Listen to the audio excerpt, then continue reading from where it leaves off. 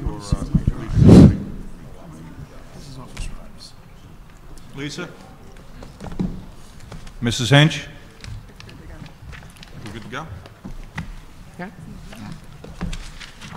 Good evening. Please rise for the Pledge of Allegiance.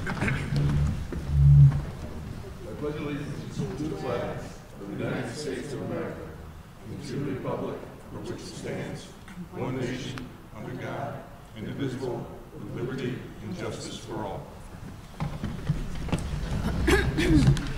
Okay, Mr. Petretti, I'm calling the budget meeting to order.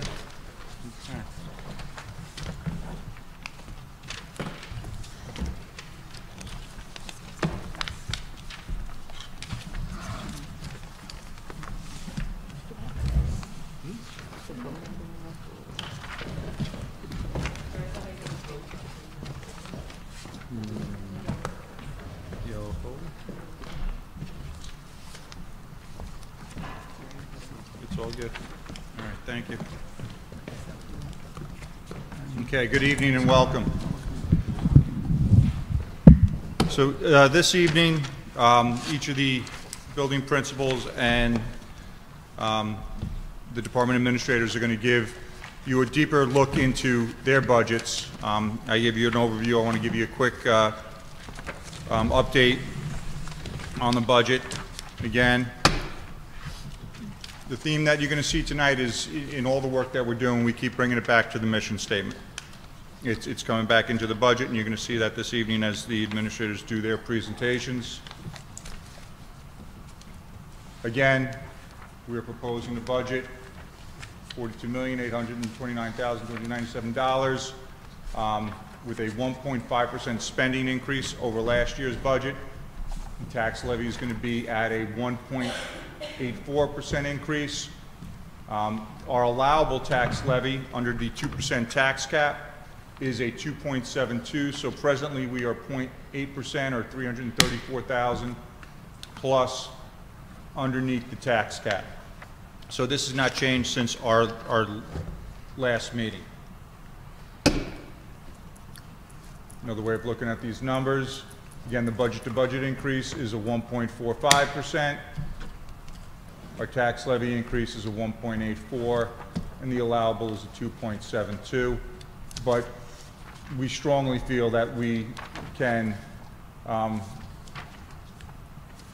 you know, create a budget that suits our needs at the 1.84. No need to go to the, the maximum allowable levy. Historically, this has been the allowable cap in blue, and this has been our budget the last couple of years. So traditionally, we are fairly significantly under the cap. So that's proposition number one. There will be three propositions on the agenda in May. Um, The second proposition is going to be expend in 4.2 million that we have in the capital reserve at this time. Um, That was established in 2018 for the following projects. It's the renovation of the STEM wing, um, updating that, that space at an approximate cost of 3.4 million. And we're beginning the process of recoding our roofs, the roofs in both buildings, um, in the, at Cutchogue East and here at the junior senior high school, uh, need to be redone. We're gonna go with the recoding project with a 30-year warranty on it. And, um, you know, that, we'll begin that process. We think we can get about $800,000 worth of that work done, and we'll continue with it into the future. That will expend all the funds that we have in the capital reserve. The third proposition is going to be to establish a new reserve. Not that, that we're going to be putting $10 million into that new reserve, but that we'll be establishing a reserve in which we can fund upwards of $10 million. So a new capital reserve fund that would have a 10-year term, and we'd be using this, we'd be putting our um, surplus funds each year into this fund so that we can begin to get the work done um, on the projects outlined in the five-year plan. So those are going to be the three propositions that will be up for approval in May. So there were some items, I just, I, I'd mentioned it to you folks last time. There were some items that we did remove from the budget. We originally came in at a much higher level, um, a much higher number. And so there were things that were pulled out of the budget that we think we could pay for now with some of our anticipated surplus funds. So these are some of the things that came out that we would like to get done now. So just because they were pulled out of the budget, don't mean that we don't value these things. We do value them, but we think we can get it done now with funds that we have. Um, So we do propose using surplus from, funds from this year's budget. So we'll be running these items through the Audit and Finance Committee for the regular board meeting next month because it's going to require some budget transfers. So we'll run this stuff through the committees and um, explain, you know, the dollar amount attached to these projects and uh, what needs to get done. So I- I told you I'd let you know about these things, and these are those items. So tonight, you'll get presentations from Cutchogue East, the Mattituck Junior Senior High School, Special Education, Curriculum Innovation, Technology, Health, Phys Ed, and Athletics. Um, We'll come back on March 17th, which will be a regular board meeting, Um, and there, Mr. Coffey will give an update uh, from the business office and transportation, and we'll have an update from Mr. Kelly on facilities, and again, any, I'll update any changes to the three propositions that'll be up for vote. And then on th- March 31st will be another uh, budget hearing. I'll give a- an additional update as needed. Um, We'll discuss personnel and benefits, our debt service, our reserves, and our tax levy. As we get closer, Mr. Coffey will be able to to finalize those numbers a little bit better. And then on April 14th, at our regular monthly meeting, we will, um, at that point in time, we'll have to adopt a budget and any changes that we've made to it, and also approve um, the propositions for the capital reserve. Sean, if for whatever reason, April 14th, we don't adopt the budget, how much time do we have before it's an issue? This is the date. So it has to be done by the 14th? Yes. Any, anything that we need to iron out as a board, we need to iron out by the 14th, Okay. okay? Again, the budget vote's going to be Tuesday, May 17th, for all three propositions, 3 to 9 PM here at the high school gym. Um, Additional information is available on the district website, items concerning the budget. And as well, anyone interested in running for the school board, uh, submission of nomination petitions, uh, you got to submit a nomination, um, a petition for nomination. Uh, District residents who are interested in running for the Board of Education uh, can contact Mrs. Bieber, um, the district clerk at uh, West, or by email, and we- we'll get a uh, a packet out to you. Um, uh, George and Jen, you guys are up this year, you guys have received packets uh, in the items that you have this evening. And those uh, need to be signed and returned by the 18th to get yourselves on the ballot. Okay? Let's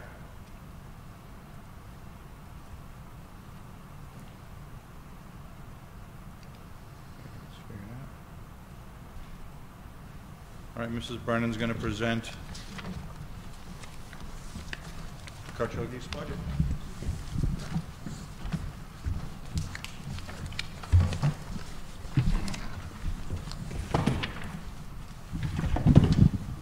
Thank you, Mr. Petretti. Thank you, the Board of Education, and thank you to the community for giving me this opportunity today to present Cutchogue's East proposed budget for the 2022-2023 school year. Um, As Mr. Petretti discussed, the, um, you'll see throughout my presentation how all of our students are meeting the vision of the mission statement. Um, you know, I also think some of the photos will show you some of the joy that we have at East and some of the joy that I find in the school. Um, recently, at one of our faculty meetings, we were sharing article, an article together called uh, Finding Joy in School. And as we reflected together and as I was preparing this presentation, I realized that the areas that you find joy in school are all directly related to our, our mission statement. So that was a kind of nice little finding that I found, and you'll see it stream throughout the presentation. So this year we have common math benchmarks, K through 6, that our students are all engaged in. Um, all our students have opportunities for STEAM. They're meeting um, STEAM once or twice a month, depending on the grade level and the availability. Um, there's very exciting projects always going on. Right now, uh, the first graders are getting ready for a sunglass fashion show next week, which will be very exciting. Uh, they're studying and they're designed sunglasses um, and they're testing the UV protection of those sunglasses and the design um, and the wow factor as well, but as far as designing. So that'll be very exciting next week. I'm sure we'll share the pictures with everyone. Um, we're implementing Envision Math grades um, three through six. We're beginning a math pilot in K1 and 2. We're beginning work in um, implementing multi-tier systems of support for our students so that we can provide academic, social, emotional, and behavioral support for all our students. And the extended learning program is in full action right now, supporting our students in literacy and math. And we have implemented word study grades three through six, which is in addition to our, or I'm sorry, four through six, which is in addition to our K1, 2, 3 foundations program. So in this picture, you can see a lot of our students in the STEAM lab, some in a math class, some learning outside. Um, you really see here where kids are really fostering collaboration, creativity, and critical thinking, really living through our mission statement.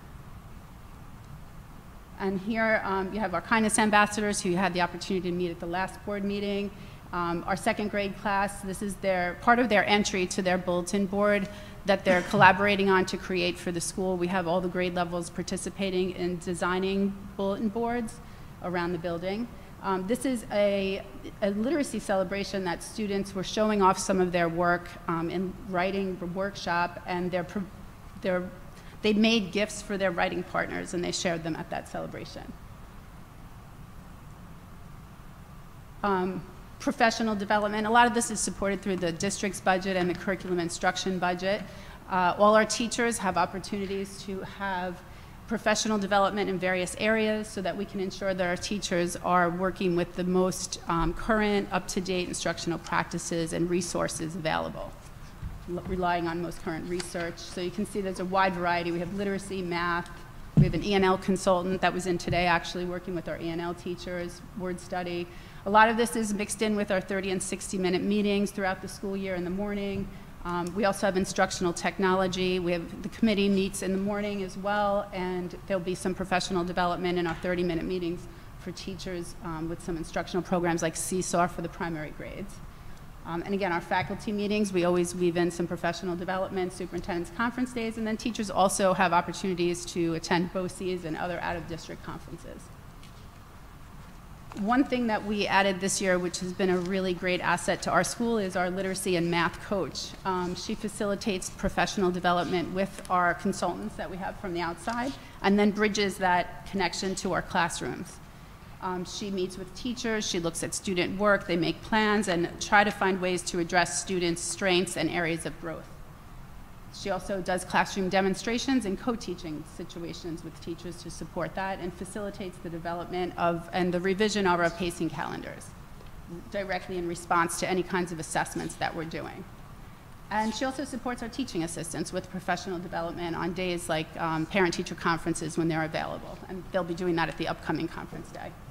These are some pictures um, of our literacy math coach working with a teacher and some students in a classroom. Is it difficult for her to do the literacy and the math? Like, like I would assume there's, it's hard to do both of them. Yeah, I mean, it's, it's, math and literacy, just like it, good practice is good practice, good instructional practice is good instructional practices, but the curriculum in both of those areas makes it a little bit, you know, it's more than, I was a literacy coach in my previous life, and so, you know, she's doing literacy and math, and it's, what's nice is, you know, it is, it is a lot for her, but she's able to bridge the connections for teachers and provide support. Also with, um, stu for students with disabilities, because she has a background as a special education teacher too. So I think that's where she bridges that in for everyone, and they can see then and transfer from one subject to the other. Thank you. You're welcome. Um, so here you can see where she's working together with um, classroom teachers and ENL teachers to in, create dynamic, flexible, and engaging learning processes for our students. And this was a quote. This is something that she really believes is true, like to inspire people, you show them their superpowers. So that's, that's really something she lives by. Um, these are some students in our school. This is a group of fourth graders who um, they developed or they're working on a little passion project they have for creating um, healthier environment and cleaner schools and places that they live. And um, so they came and shared that with me, and we're working to support them and taking action in this area. So, is, of course, we brought back our band and um, chorus concerts this year. And these are two second graders who shared, um, they wrote this book together. One was the author, one is the illustrator, and they shared that book with us. And this is one of our clubs, the chess club. So we want to make sure that we continue to nurture individuals' passion for life and learning. Um, another way that all of our students are meeting the vision of the mission statement is through meeting social and emotional needs. We have a wellness screener, um, Naviance for our sixth grade. Second step, our school counselor provides support to our classrooms through bringing that into certain grade level classrooms to provide support for social and emotional well-being. We have a full-time shared social worker at Cutchogue East. We also have morning meetings and community meetings that our um, school counselor does provide support to our teachers to help facilitate um, meetings so that our students have a place to begin their day um, with the healthy and um, healthy well-being. Um, multi-tier systems of support I kind of spoke about earlier. Um, we're beginning to work with an, to create an SEL committee with the PPS department in Meredith, and supporting the SEL of our faculty and staff. I think that's an ongoing thing that we want to make sure that our teachers are um, in a good social emotional state to provide that same support to our students. So that's something we weave in through our faculty meetings, through our 30-minute meetings, and our 60-minute meetings. Amy, Yes. you indicated that there's a shared social worker. Is that shared with the high school? Yes. Yep. And we're comfortable with one shared social worker between the two schools? That is how we've been working this year. Um, she's there on Tuesdays and Thursdays. She's at Cutchogue East, and you know she balances some work with um, with our school counselor and with our psychologist. So you know she is. Um, she we did have a transition because the person who we hired for the year left, and she Regina came in and she's doing a fantastic job supporting the students um, in the days that she is at Cutchogue East. So we, originally, we started the year where we were doing um, half-days. And uh, the second Students Assistance Council spent half the day at the high school, half the day at Cutchogue East. And we just found that that wasn't working. And then when we had the transition, we're trying something new. Um, You know, where we have a- an increased need here at the high school, but we also have the need at Cutchogue East, and we're trying to balance that through one position. Being able to find two part-time people, you know, would be difficult. So we're- we're, we're trying different things, and, and we'll reassess and look at the model going forward next year. Um, Mr. Petretti, I just had a question, um, because I was looking at Meredith's presentation that she's going to present in a little bit, and it says two full-time social workers? Well, we, district-wide, we have two full-time social workers. We have one at the high school that's here, solely at the high school, and then we have the shared. So one and a half here at the high school, and then half Yes. part-time? Right. Okay. Yep. Um, Again, our students um, have experienced an expansion, a return and expansion of some of our clubs this year. Um, I know um, if anyone's seen on the, has seen on our district, on our school website, we have the East Club flyer, which we update. Recently, we added in um, a hackathon, which comes off of our coding club. We added in a nature club, um, ultimate frisbee, and a morning fitness program. Our student leaders, um, our school leadership, you've seen it, the Board of Ed meetings, um, they organize our Spirit Week, the- they organize a Thanksgiving food drive, and during PS I Love You Week, they led the school announcements every morning, and you can see this picture here of them. And that's the Garden Club. Um, we always want to encourage a range of perspectives for our students, and this is an example of one of the classes creating a bulletin board, and this is in our main office, actually. So Ms. Kaiser and her third graders are putting up their bulletin board that they developed and designed based on the uh, Mattituck Cutchogue mission statement. This is a literacy celebration in a third grade classroom, and this is actually another third grade classroom where you can see students in writing workshops. She has her writing spread out, and she's really involved in the writing process and revision and the development of her writing or, well, all of them, but you can see particularly that student. Um, some other ways that our students this year are really giving back and living through the spirit of our mission statement is we had the Super Bowl cereal challenge recently, and you can see all the cereal boxes piled up here. They knocked them down in a domino effect. And um, we were able to collect, uh, I think it was, it was a lot of cereal. I think Raphael came over like three times to pick up the boxes to deliver them. So it was quite successful. This was a second grade class, participated in October in uh, Socktober, where they collected socks and donated them. And this is um, a fourth grade class who collected change to save the elephants. Um, so they're making that donation, and this is student leadership um, food drive, and of course Honk Junior, the Cutchogue East School musical happened this year, and we were really excited about the message that that particular play brought to our families and our community. Um, and the sensory path is something else we're very proud of at East, and we appreciate all the support from the board with this as well. Um, our students are able to, at times when they feel um, the need to, re- regu- to regulate themselves or gain refocus, they can leave the classroom with a teacher or a teaching assistant or take a walk through the hallway with the class and follow some activities on the sensory path to help them regain focus, re regulate themselves, and become ready for learning again. And this slide is where we talk about the enrollment over the years at Cutchogue East. So um, this slide captures 2012, 2013, all the way up to what we project for next year.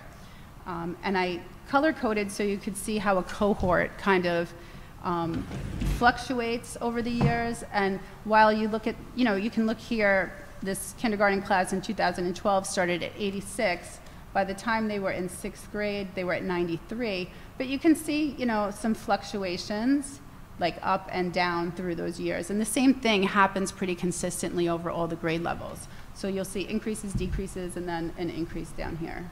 So the one thing we did find is over time, you know, by the time they get to sixth grade, across the board, there is an increase, um, but it does fluctuate, you know, as, as those different cohorts uh, go, go throughout the years.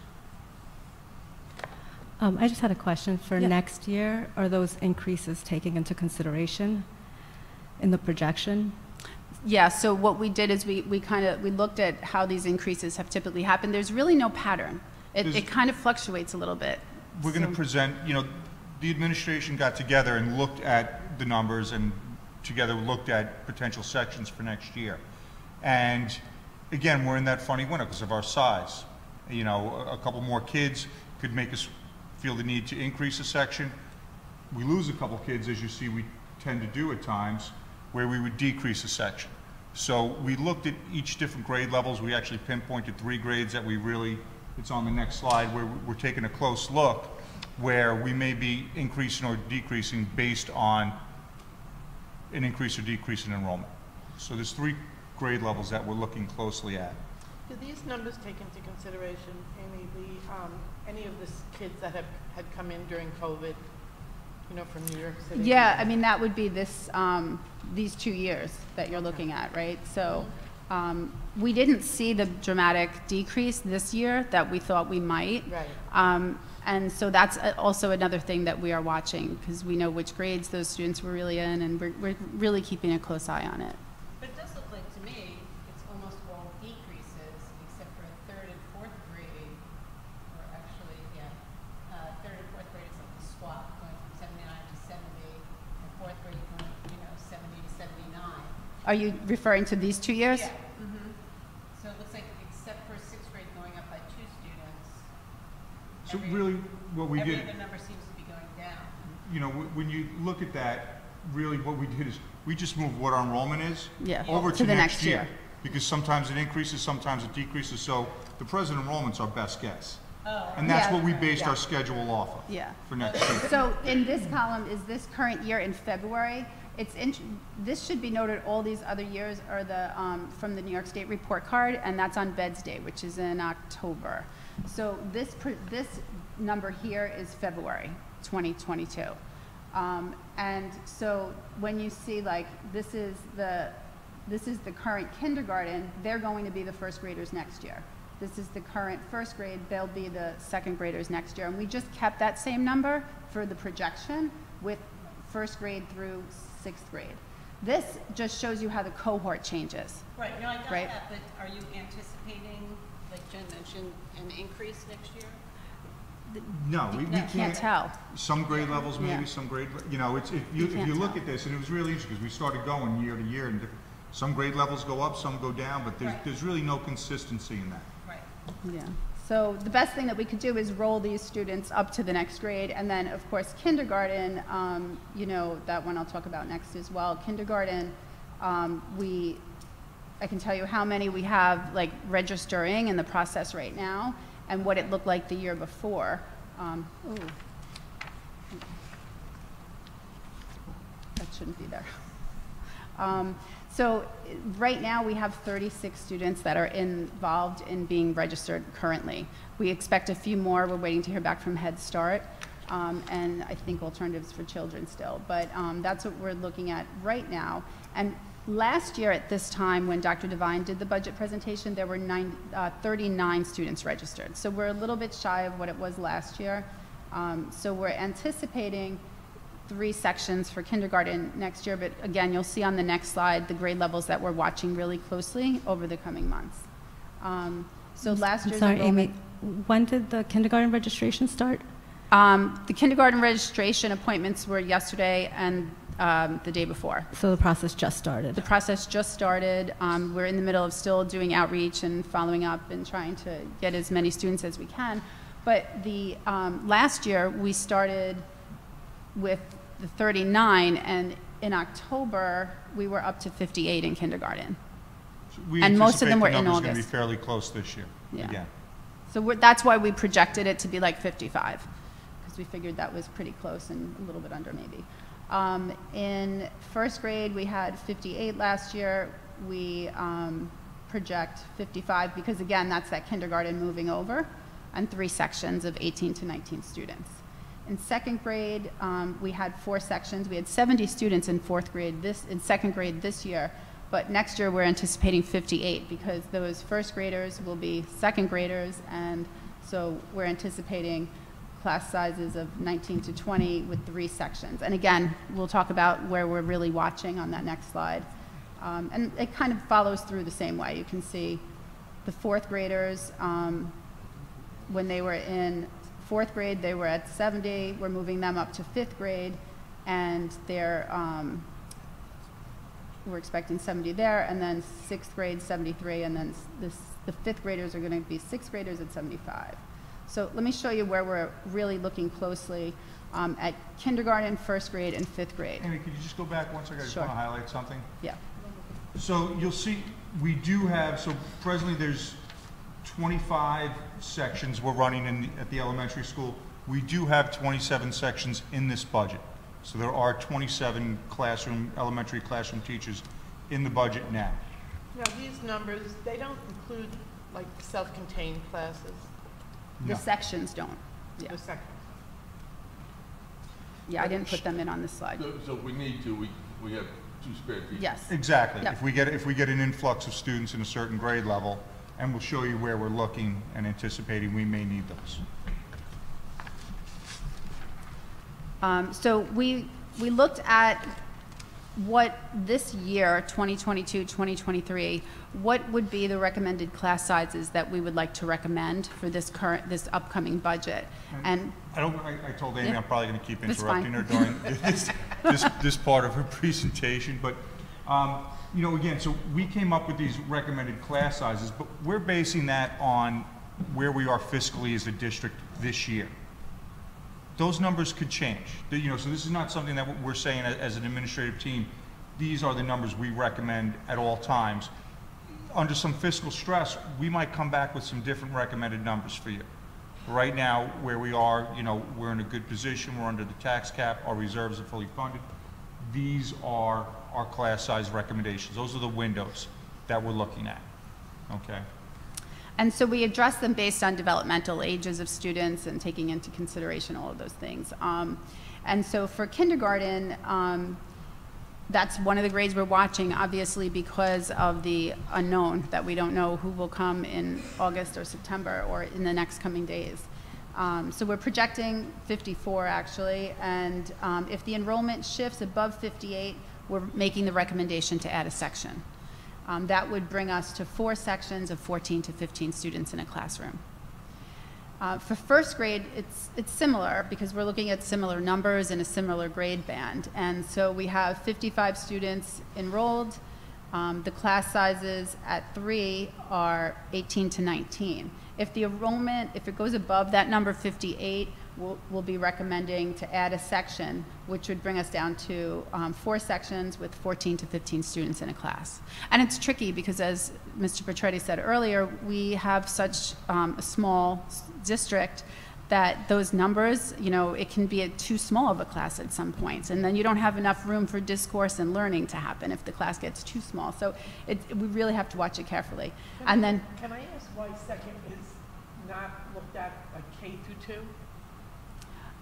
Well, because we're looking at here, um, like kindergarten and first grade, we were looking at their reading levels. Okay.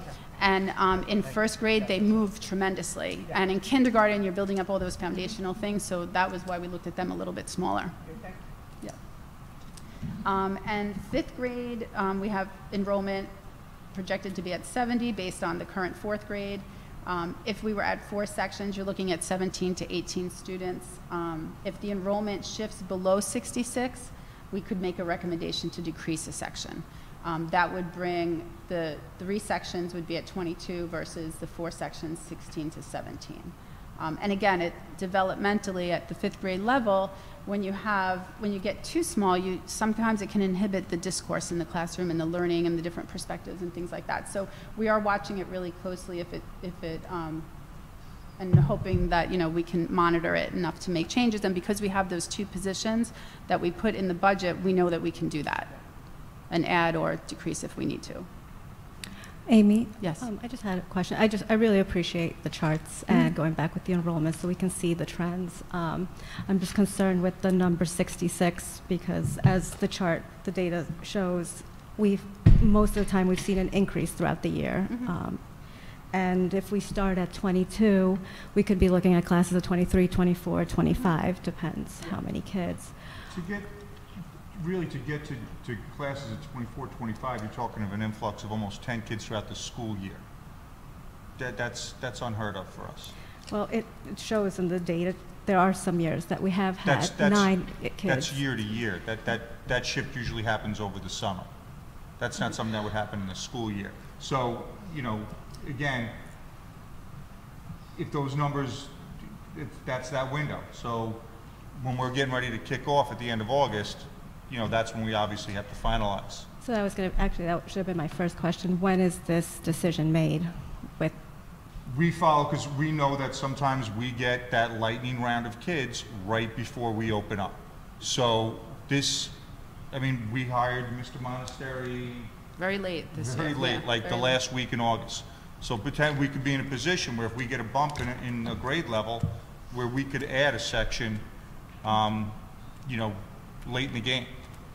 but, and then as the year progresses, if you get more students, you can't add a section then? No, you wouldn't do that. You would start the year at a number and that, you know, number of So if that sections. could just be taken into Yes. consideration, that throughout the year, um, It, it was when we came up with these bands.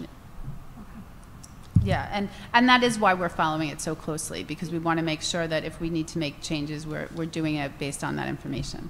And this recommended class size, that's something that we just came up with? Yes. That's not, 'cause Yes. that's very low Yes. what. Yeah, we made it recommended based on Which we're this, fortunate to have, but Ex- that can't be a norm. yeah, we made it based on this budget. The, the position that we're in fiscally right now, we felt that we would be comfortable with these sizes, and given the current circumstances that we're in, like, all the And factors. two teachers that we have in the budget. And we have the two teachers in the budget, yep. So, yeah, this, this would not be, if we were, came into different times, we might have different recommendations entirely. Right, and we also have to remember, the kids' education has been interrupted these past two years with the closures, the restrictions, and the quarantines, abs- absenteeism. So if there's any support that we can give the kids to give them a, a optimal learning environment, I, I'm in full support of that. Okay, thank That's you. why we're recommending those class sizes. Yeah, that, that is why we, we did do that recommendation, and we will be following really closely. Uh, Amy, Yes. how many different nationalities do we have? How many different nationalities? So I'd have to look up the actual data for you. It is on the school report card, and I could pull it up if I went on the internet right now. But um, we do, just roughly speaking, we have um, students who have, um, who are in, who are English language learners, who have- are new to the country or recently. Um, We have students, um, we have some students from Turkey, we have some students from Poland.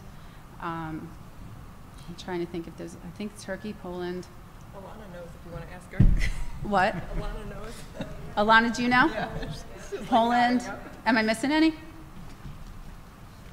I think- Secondary level, we have some students from China. Okay, yeah, so. Ms. Brennan, if budget was not a constraint, what would the ideal class size be, in your opinion? Well, budget's not actually a constraint in this scenario, right? Because we're recommending um, these class sizes based on the current budget, so it's not constraining class sizes. Um, You know, typically in first grade, it's, it's nice to see smaller class sizes, kindergarten, because kids are beginning those foundational literacy and math skills, and um, they're coming out of, like kindergartners are coming out of UPK, which they might have two teachers in the room in a class up to 16 or 18, but the two teachers, so that's like a transition year. We're trying to build in a lot of the, um, the growth that we want to see in kindergarten. And then in first grade, they move from so many reading levels in first grade. There's, there's a really um, critical time there that you'd like to keep those class sizes low. And, and second grade, too, is a class size that, you know, benefits sometimes from smaller class sizes. As you move up in the grades, it's not uncommon to see classes larger than 24 in, in you know, other, in other places at other times. Um, But again, for this school year, given this budget and the circumstances that we're in at Mattituck Cutchogue, at Cutchogue East this year, we felt that these were good recommendations. Um, You know, one of the things that impacts learning more than anything is, um, and a lot of the research shows, it's collective teacher efficacy. And I have to say, at Cutchogue East, there's a lot of that. Um, a lot of the research, um, you can look at research that shows class sizes versus what has an impact on learning, and really the teacher's belief that students can learn is what has the greatest impact on learning, more so than the class size, really. So those things, again, this is based on this year's budget, this is based on this year's circumstances, um, and um, what we're recommending this year. And we'll continue to follow it very closely. Thank you. Okay, and so this is actually the proposed budget. Um, I'll go through just some of the increases or decreases to just um, provide some explanation. Um, So you'll see a decrease in instructional elementary supplies. That's actually not a decrease, it's a shift from instructional supplies to instructional resources. Some things just needed to be categorized differently. So you'll see the increase under, um, under this instructional resources to account for some of that. Um, In addition to that, there's an increase for classroom libraries. We want to enhance our classroom libraries more. Um, Also, some foundations resources, um, some STEAM resources, and um, so that, that kind of accounts for that increase. Also, sixth grade Amplify Science, they needed to have um, some resource kits provided for the students for the hands-on activities in science. Um, And that's some of the increases. I think, I think those are really the only, oh, furniture. So um, I'll show you on the next slides, we are increasing the proposed amount shows an increase of $5,500 for furniture in the classrooms. We want to add some more flexible seating. That was something that was started at Cutchogue East a few years ago, and we want to continue that. Um, You can see here, these are our current, these are the old desks that we have in um, third grade through sixth grade right now. And you can see they're outdated. Um, They don't work as well in small group collaborative settings like these flexible seatings have. Um, And then we're also looking at adding um, some, the, the classroom meeting areas where they had carpets were taken out during COVID. Um, so what we're looking to do is purchase these, um, students would sit on these cushions, um, in gathering areas. They're flexible, so they can move them around. They can all come and sit around the teacher while the teacher might have their mini lesson or read aloud. Um, and then again, that's the flexible seating. I'll show you a closer picture of the flexible seating. So this is in one of our current second grade classrooms. And these desks can be grouped in various different ways, so it's very flexible for the learning environment that we want to foster at Cutchogue East. Um, how many, how many classrooms are currently set up that way, and how many do we want to? So currently, we have kindergarten, first grade, except one classroom, and second grade. And our Spanish classroom has And them, is so. it basically new, because weren't they three feet apart? You know, like- Yes, so what, what, yeah, the, this is new that they're, clo- I, I'm, well, I love seeing this, I love seeing Yeah. it together, and I'm They- so glad the and To be honest, they, these are actually three feet apart nose to nose. So oh. we've had them like this in some classrooms for a little while. We measured, and nose to nose, they were three feet apart. So, but now you're seeing more. Now that some of the requirements and restrictions and recommendations change, you're seeing, you know, I'm going into classrooms and seeing kids gathering together with the teacher. Um, it's really beautiful to see them get I- together I and, Sat in on my first morning meeting yesterday on the carpet with the kids. yeah. And it was great. You know, it was just, it was just a whole different environment and, and the teachers rolling up their sleeves and getting back to some of their traditional practices. It was, it was awesome. Yeah, it's great when you can metaphorically wrap your arms around your kids in a close group, you know, it's much different from being in rows. So we're, we're glad to see that, and we're hopeful that by adding this to the budget, we can bring this into our third grade classrooms and have, at, at this point, K through three, and then we'll each year add another grade level. Um, Mrs. Brennan, I just had a question. Has there been an update on social distancing in the classroom? Restrictions, or There has not. not yet? The, um, there, there's been some change in how we're handling close contacts and quarantines, and that went out in a notification to parents today. Okay. So, and it, it's, I'm getting like four or five updates a day from the different organizations. So this is gonna continue to, to, to change and morph, but, um, you know, as, as far as the seating, no. Okay. Um, Just about the desks, um, is there consideration of keeping some of these desks? Because I've heard from the students, some of them like the desks where they keep their, all their stuff. Um, Well, right now, um, they are in kindergarten, first grade, and second grade. Um, these are planned for third grade. They do have like cubbies, they have like little baskets where they keep their materials in with these types of desks. Um, you know, right now, we have a lot of these desks around, um, but it would be awkward, and you wouldn't really be able to foster collaboration if we mix them in a classroom. Um, so, maybe, I don't know if, Yeah. if maybe the students can be asked? Or if yeah, I mean, I don't know if the whole class would be in agreement, that would be tricky, but we can certainly look for ways to find um, flexible storage options for them, you know, and, and that might be something that a classroom teacher might incorporate, um, students' choice and how would you like to store your things, what would work for our classroom community, and things like that. Mrs. Brennan? Yes. Is there anything that's not in this budget that you feel like was left out or that you really need? That's a that's an interesting question. Um, you know, I, I think that we've presented a budget that's that's fair and reasonable given um, the situation and circumstances we're in right now. Um, you know, I think that we have, and I've tried to show that to you, that we've really enjoyed the support of the Board of Education and the current budget this year. Um, I think our students, um, you know, you, you can see in their faces, you can see the um, the way that they are uh, really living through the spirit of our mission statement with what we have had. So um, So you don't have a wish list? I, I, everyone has a wish list, but you know, I didn't take it with me today. Thank you for that question. I appreciate it. Just one last one. Can you just talk a little bit about extracurriculars and some of the clubs Sure. and how that's been going so far this year? Yeah, sure. They're, they're actually very busy. Um, Cutchogue East is very busy after school, especially on Mondays. We have the extended learning program on Mondays and Wednesdays, and we have clubs up and running. Um, they're full. All of our clubs are very full. Uh, chess club is, we have chess club, which is very active. We have Lego club. Um, the mock trial is in full swing right now. I think we have two sections of mock trial running, and I think Lego Club runs two sections as well. Or Art Portfolio is running. Um, we have NYSSMA band and chorus after school now. Um, it's actually it's a very noisy, vibrant little place after school. It's quite beautiful, but um, the uh, what other nature club will be starting shortly the fitness club the flyer i think is going out today or tomorrow that's a morning club on friday mornings where students can come in for early morning fitness. Yoga club is running. Um, garden club will be starting up again in the spring. Um, am i missing any? You know we had earlier ones in the beginning of the year stage crew the play. Um, those have finished at this point. I, ultimate frisbee club i think that's going to be pretty exciting. Um, I usually try to stop around in some of them because they, the kids are really Lego Club. I went in the other day. Um, I came. I was in. Uh, not that you need to know this, and I probably need to end this presentation soon. But I went to California over break, and I was in Legoland. So I brought them back a book, and when I brought it in the room, like they ran over, like, "Can I have the book?" I'm like, "It's yours." So they're very excited and very appreciative that not that they understand um, where the support is coming from, but we do appreciate the support from the board, especially in adding the additional clubs this spring because I think we added four. So Can you Can you. tell me how many kids are in the extended learning program? We have about 70 total, I think. Is that the right number right now? 67? 77.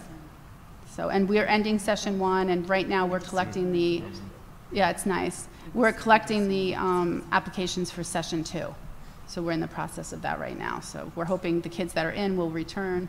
Um, I think the second session, we're going to be competing with after-school sports and outdoor activities and things like that. It might be a little bit trickier, but we have the buses, we have the three buses which come and pick them up and take them home. Um, They dismiss at one side of the building and the clubs dismiss at the other.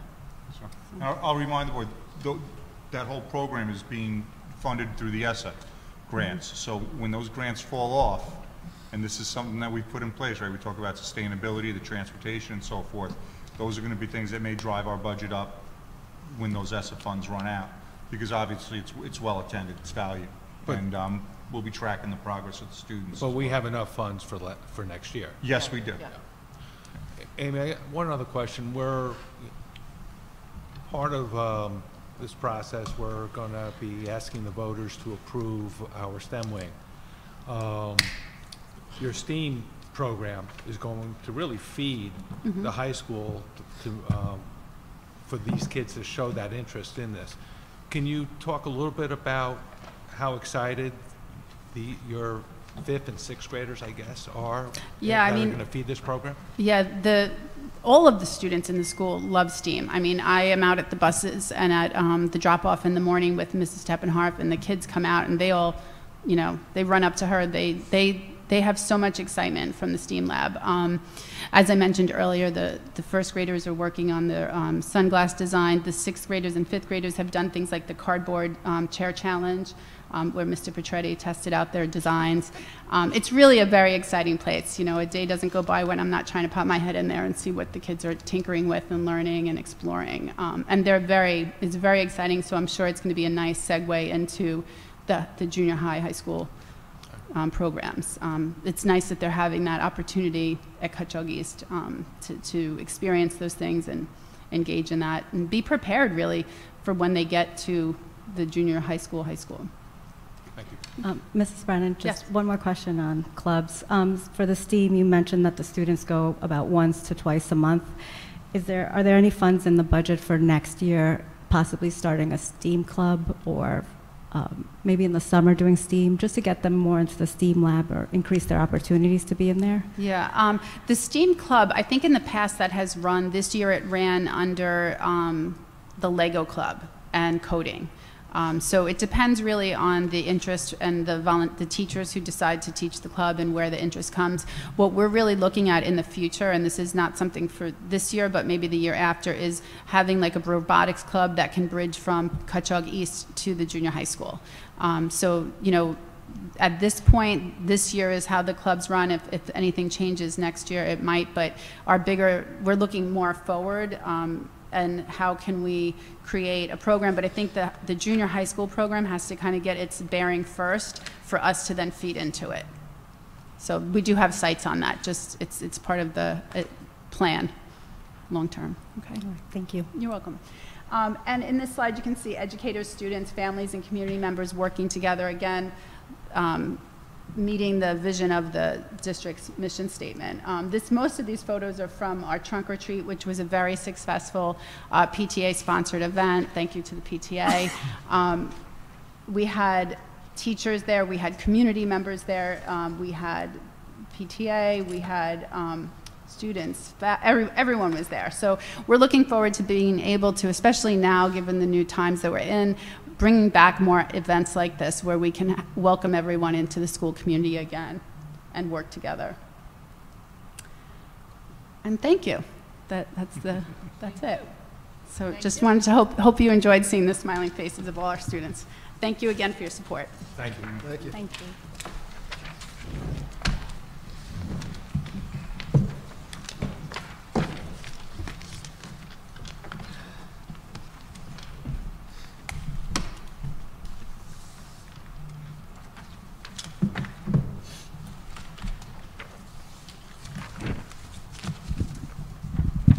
Good evening, everyone, and I'm going to take you through the junior senior high school budget now. And as you're aware, last year's budget had a number of items that addressed our building and our district goals. We added five new courses last year. The AP Capstone is a dual teacher course, and there'll be a second level of that course coming next year. It's not in this proposed budget. It's going to be a year from now. I'm going to be asking that we add the second level to AP Capstone. In, uh, last year, we added AP Computer Science. We are adding a second level of that in this budget here. So tonight, I'm asking that we add that second level to AP Computer Science. The acting class was a English elective years ago. That went away. We brought it back. And this time we brought it back as a music elective, and it was taught by Jake Fowl. And our two food electives were taught by a health teacher, thus expanding the link between the classroom curriculum and the real world applications. We have professional development in math, literacy, and ELA, renovations to instructional spaces, and addition and some addition uh, new clubs. While we discuss the budget, we do have to remember, as, as Amy showed on her chart, we, we do have decreasing enrollment. So this chart is showing the cohort sizes along with the number of sections for, or the, for the core academic areas. Now in the bottom right corner, you're going to see where we have 4-5 projected. We're in the final stages of finishing the master schedule, and we're not sure exactly how many sections we're going to have uh, for English 12 and English 11, things like that, based on the, the schedule. So that may change a little bit. Otherwise, the sections are, are pretty, pretty accurate there. And then this next slide, this ties in, whoops, one, one, too, one too many. There we go. This slide, keeps jumping on me. There we go. This slide ties in with the student enrollment slide. Since 2010, we've seen a reduction in our English and social studies electives, yet we've had an increase in our science electives. Uh, also, with that, moving biology down to eighth grade increased the number of labs that we had to offer. And we added junior high math labs uh, recently to give some additional support to our students. So now turning our attention to the, to the actual budget lines that I'll go through. This, this budget, and there's a lot of lines in, in this, in this budget. This entire building budget is 14,000 under last year's numbers. This is coming in underneath last year's number. The department coordinators, they did a phenomenal job of crafting a responsible budget that uh, is in alignment with our mission statement. When we look at this first slide, if I can get the, the mouse here, the big number that drops, that jumps out as an increase is the 13,000. This is for video cameras. These are cameras that needed to be purchased, uh, they need to be purchased. They were not in last year's budget, so we're looking to add them into, into this year's budget. On the next slide, if we go about halfway down, we see an increase here of uh, 2330, 2,930. It says trips to museums. With the pandemic, we stopped going to New York City. We stopped going to museums, and we would like, we're looking to bring that back next year. So that's why you're seeing a zero to uh, 2,900 increase there. But then, as we go down here, you're going to see an increase of 4,600. So this is new. This is a new code that we added, and this is repair money. This is contractual money for our video systems, our streaming systems, the TV studios, all the communication in this room. This is actually money that we moved from a code on the next slide, so this is more of a reallocation than it is an increase, but we listed it here as an increase. On this slide at the top, uh, you see a decrease of 1,600. That's ENL supply money. We moved the ENL supply money out of this budget, and it's now in Ms. Finnegan's budget. We go to an increase of 3,800 here in science. We have a new physics teacher. This is an increase in physics supplies. It's also an increase in some of the costs that we're seeing with the environmental science uh, purchases. Those costs are going up slightly, so that's why you're seeing that increase. Right below it, you see a, a bigger decrease of 6450. That was a one-time purchase for world history. That purchase was made last year, so that came off, that came off from this budget. And then down here at the bottom, you see this giant increase, or the decrease, sorry, of 6,500. That is the money that we reallocated the 4,600 for the repairs to all the, all the uh, communication systems. So we took the money out of this budget, or out of this code, that was used to purchase the headsets that we saw used in the musicals and the plays, and now we're using that to repair things moving forward. On this slide, at the top, we see an increase of 2,300 in English. This is to replace, uh, replace paperback books. The books over, over time wear out, they, you know, they, they don't last forever, so this is, a, this is an increase to replace some books. We have an increase here in science of 1,500. That is specifically for an increase in chemistry review books. That is where that increase is. We're, we're increasing that, that number there. And then down here, this is interesting, you see two giant decreases. The first one, 8,500. This is foreign language. So the foreign language department for years has been using an online textbook. The company is phasing it out. And so they are letting us use it for the next two years as they're phasing it out, and we are not being charged for it. So it's something that we're, just, we're grandfathered in. We do not have to pay it. However, in two years, this is going to come back when we have to explore a new, a new resource. So that 85 is down now, but in two years we are coming back to that. And the 6350 was a one-time purchase. That was for the, uh, for the AP World History textbooks. That purchase was made last year. So that comes, that comes off. Um, Mr. Smith, I'm not sure if you went over this. Um, For social studies, we're getting new textbooks next year? No, this is, tho- that was world history purchased last year. This year, they are, they are piloting and looking at new, new textbooks for AP US history. And is that budgeted in here? It, it'll be in, it'll be in Ms. Finnegan's budget. Okay, Yeah. thank you. Yep. At the top of this one, this slide, you see a big decrease here, uh, $12,000. That's our BOCES number. The BOCES number is tied to our enrollment, so as the enrollment shrinks, our BOCES number is coming down, so that's why you're seeing, seeing that number come down.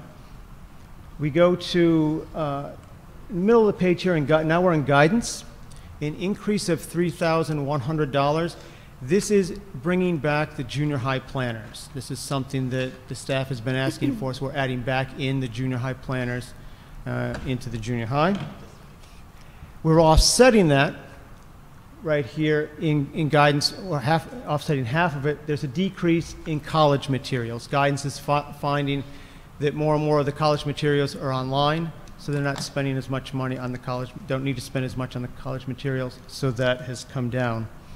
And then that brings us to the bottom figure, and we're down to, the, the total building budget is going to be $841,669, 14,098 under last year's number. So in this budget, we are offering students six new electives next year. Uh, AP Computer Science A, that's actually the second level of the computer science that we're currently offering now. Astronomy, Spanish 5, which the hope would be Spanish 5 now, and then that would transition into an AP Spanish the following year. So next year wouldn't be Spanish 5. We're going to run it. We'd like to run an AP Spanish. Basic carpentry we'd like to bring back, digital photography 2, and ceramics 2. So, Mr. Yes. Smith, I just want to stop for uh, just a second. In the, in the, the screen you showed with 2009, 10 staffing and 2021, 22, is, there's a decrease in teachers, of course, over time. Mhm. But with, with you, are you able to add electives and other classes and have two teachers in AP capstone and still maintain those low numbers? Yes, yeah.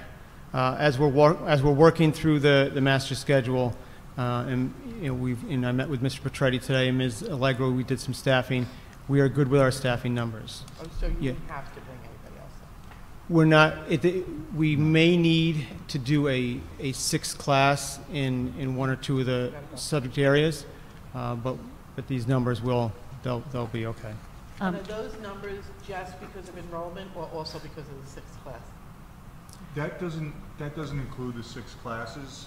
This, you know, you're talking, there's, there's different stories behind it. One, we know our enrollment's decreased. I did a presentation similar to this for the board um, a few years back, and looked at, I think I went from 2006 to 2012 is when, when I did the presentation.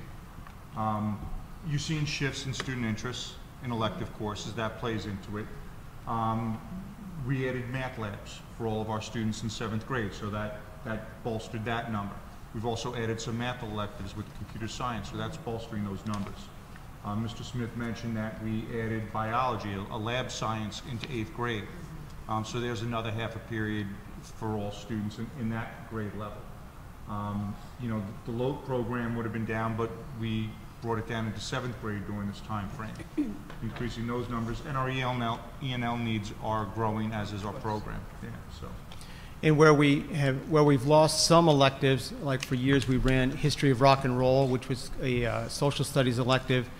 Those, those elect, and the electives come and go uh, based on interest, but now you're seeing an interest in the forensic science, marine biology, environmental science. Uh, astronomy is going to be new next year. That will, I'm predicting, is going to be very popular. Um, and again, you look at something like basic carpentry. That's something that we had it came, it, it, it, didn't have an interest for a while. Now we're starting to see the interest again, so we're looking to add that back in. Well, you also have an interest in the community, looking for more Right. classes like that. Yeah. And Doug. Whoops. Um, I'm going the wrong way here. Thank you. Yep. And so, so in adding these classes, it's including our staffing, our supplies, and the professional development. We've added back in, like I mentioned, we added back in the field trips that we lost during the pandemic. And we continue to offer a large number of clubs and activities. So this brings us to the end of the junior senior high school budget. Are there any questions I could answer for you? I just wanted to make a comment. I think this is wonderful. When we look at Amy's budget and what she's providing for the students, and we recognize some of the new courses that are going to be available, it's because of all of the hard work of the teachers down at the elementary school. So when we look at some of those numbers, which initially I thought were smaller, I appreciate how you're going through everything and recognizing, you know, the different abilities of the students, and that allow us then to move them to these type of courses. So I'm, you know, I'm very impressed with both of them. Thank you. Thank you. All right. Okay, thank you so much, everyone. I did want to ask you, Dave, with the Sure. uh, reduction of some of the college materials, um, the last presentation, and I know guidance is probably coming up, we're not going to get rid of any of the online SAT prep, because I know it was underutilized, but it's a great resource. Um, Right, we're not, you know, a lot of the reductions that we're seeing are for printed materials, things that we were buying, uh, brochures, things like that. And you're even seeing now, uh, a lot of the college visits are now virtual. You're not getting as many college reps coming, and you're still getting a few, but you're not getting like you used to, um, which is good and bad. You're missing that, that face-to-face connection, but now you are getting maybe colleges you weren't getting representatives from before. So that reduction there was more for just printed materials, brochures, catalogs, things like that. Okay. Okay? All right.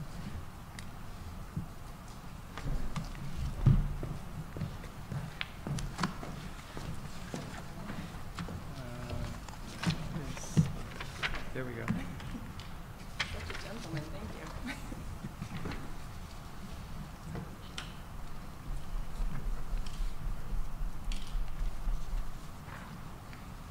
Hi, everybody. Okay. Tonight, as I present my budget, I would like to highlight the accomplishments of the PPS department and share with you what the proposed budget will support for next year. We continue to have a robust special education program at all levels, district-wide, that supports the full continuum of services. This past year, we added a new academic special class at the elementary level to meet the needs of our students while maintaining their placement in our district. Of the 10 students with disabilities who graduated last year, all of them graduated with a Regents diploma, which is just a phenomenal accomplishment. Mm-hmm. We really have to thank our, our teachers for all of the hard work that they do with our students. Each year, our vocational program continues to change and grow with the students.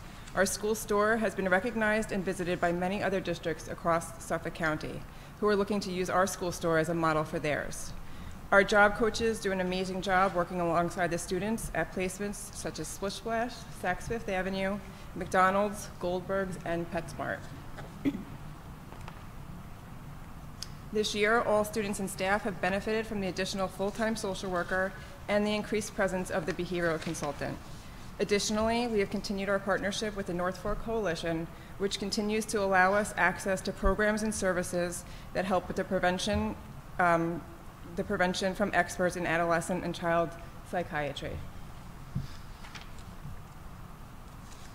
Um, this is similar to what you saw in Amy's slide, but our ability to meet our students' needs and, um, and staff mental health needs continues to grow. We've incorporated an SEL curriculum at the elementary level, as well as created monthly mental health and wellness themes district-wide. As you can see in the pictures, we've just completed a week of activities centered around PS I Love You Day, which focused on positivity and kindness. Okay, so here's the actual budget. So you're going to notice some shifts in the proposed budget for next year. Um, I just want to point out a few things. You'll see that there's a decrease in charter school tuition for next year, um, and that's just that we had um, less students who we anticipate attending charter schools, so it's, a, it's an obvious decrease there. It looks um, as though we're decreasing our funding for our various consultants um, and our related service providers. However, some of that money has shifted codes, and some of those services have been covered by my special ed grant. So we're not decreasing any of those services, we've just shifted the money around. Um, Our BOCES code um, has increased, which you'll see happens to us every single year. Um, You know, bo- our, it's really, this year, it was due to an additional placement of a student based on their needs. Um, let's see. Meredith, Yep.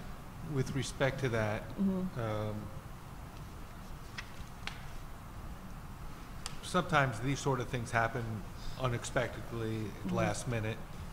Um, Is there some funds in here with the unanticipated that something might happen? where We do, get- ha- yep, I do have a line in my budget for unanticipated placements, and I did increase it a little bit this year, um, because we are seeing that, w- it- when we send students to BOCES placements, it's not only, it's not that they have um, significant academic needs that we can't meet, sometimes it's the social emotional needs, and we've seen an increase in students who, um, with all of the resources that you have supported me with, with the behavior consultant and the social workers and the psychologists that we have in our guidance team, um, sometimes we're still just not enough, and students need a more therapeutic environment.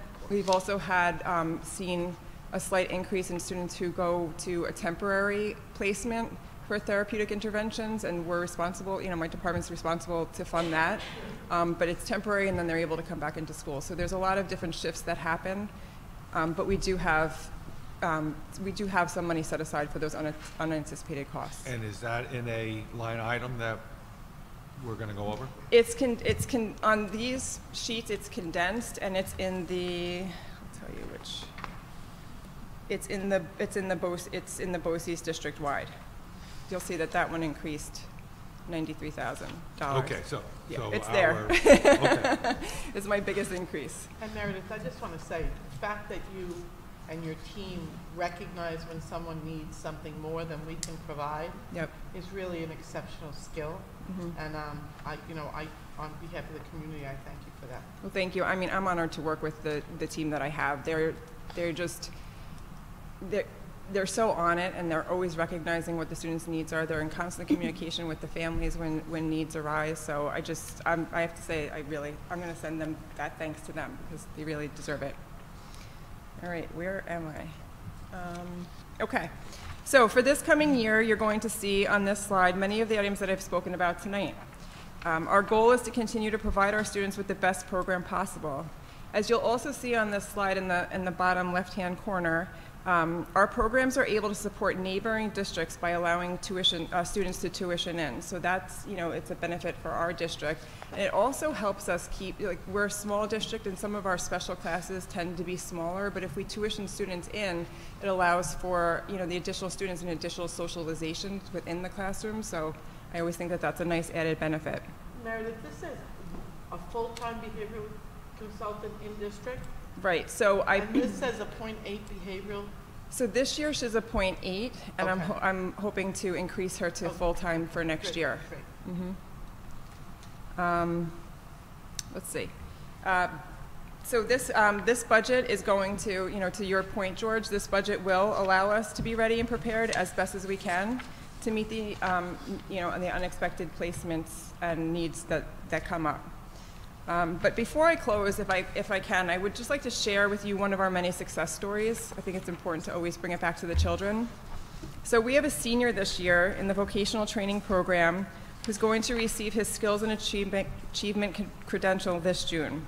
For the past six years, the student has participated in school and community-based vocational training as well as BOCES for food prep.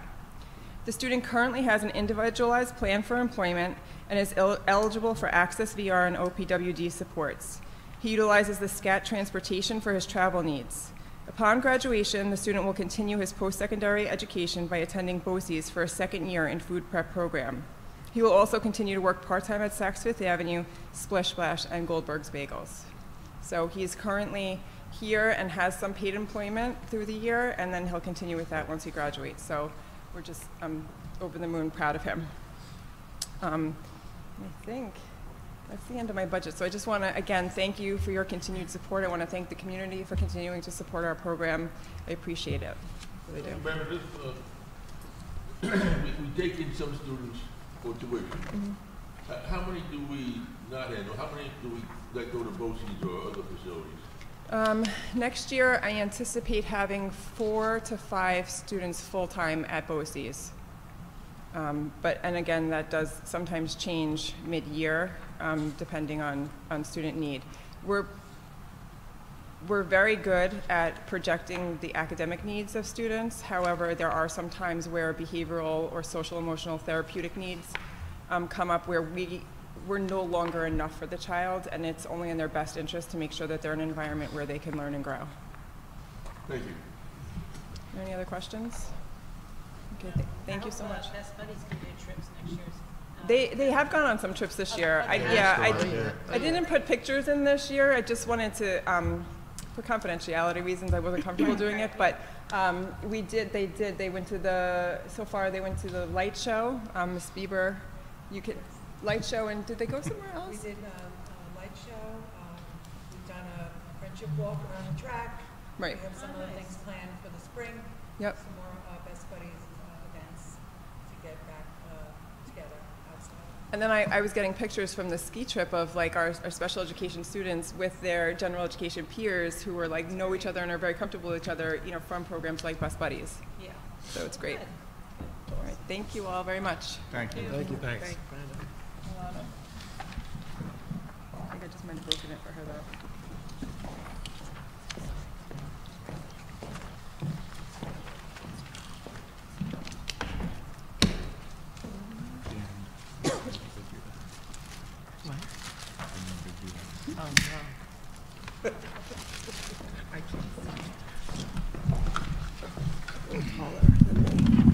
Hi, good evening. So, presenting the curriculum budget, which um, much of what you um, are about to see here, you've already seen through the buildings, because the curriculum um, instruction innovation budget supports both buildings.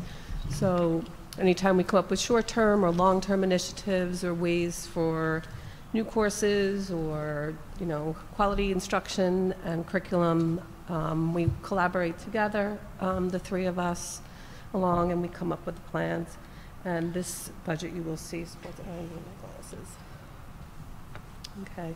So over the past year, and you've seen these on both of the slides prior, so I'm not going to get into it, but they're talking about what's happening in the buildings, but um, you'll see that these are the funds that make some of this happen, and these were just some of the highlights um, that you've already heard tonight of what we've done in regards for professional development and training, curriculum writing and review, and also then giving the um, students and the teachers the resources to make that happen.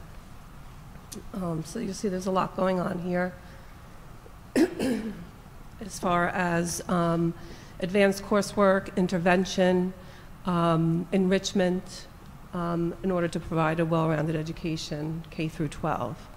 Um, you'll see a lot of the work that we've done through professional development and training and resources really about aligning K through 12 so that the work that the students are doing throughout each year, they transfer to the next year and that we can build so that it's not You could have a really great year in the classroom, in a grade, but if you can't, you have to be able to transfer those skills into the next grade. So finding common language, common ground, assessments and language that we can all talk about and look at um, and make good decisions. So there's been a lot of great work done and um, a very um, talented faculty. So uh, as you heard before, um, there's been some code shifts in this budget as well. The, um, the overall, the budget has decreased by 41,500, I believe. Um, Part in fact to that we had front-loaded and were paying for the math programs over the past um, year, so that was a big investment, it's a six-year investment. And then we also um, took out some of the contractual money because we were, that was in the wrong code where we were paying teachers for curriculum work and training and whatnot outside of the school day or summer programs, and it really belonged, it belonged in the salary code. So we had to take some of that money out of contractual and put it into salary code. Um, I believe it was to to the tune of $24,000 total, but that's, that's part of that money. Um, You'll see that um, Another, one of the reasons why when you look and you see Cutchogue East is um, higher than the high school was part, part in part due to the math and literacy initiative because we're only in middle school in the high school, so you're, you're training and um, developing seven grade levels as opposed to two grade levels, and that was the cost there. You're going to see contractual money, um, professional development money in here, and then you'll see it in the grants. Now, the grants, the title funds that you'll see later, they're, that's called supplement and supplant. You can use those funds only to, in addition to what your district is providing. So you can't not have the district not paying for professional development, right, for intervention or for things like that, okay? And then use title funds to supplement your budget. Does that make sense? So that's why you'll see it in the, both of those places. You know, the question being, why not just use all grant money? Because you can't. We have, the district has to provide a certain amount of um, professional development. Um, Can I ask you, with curriculum, like with math, like Amy Mhm. mentioned Envision, mhm. just because I don't know, what, like, these new things, is it, is that software, is that book? It's everything. So it is, Like, right? if a parent wanted to work with a child on a lesson plan, are there uh, workbooks?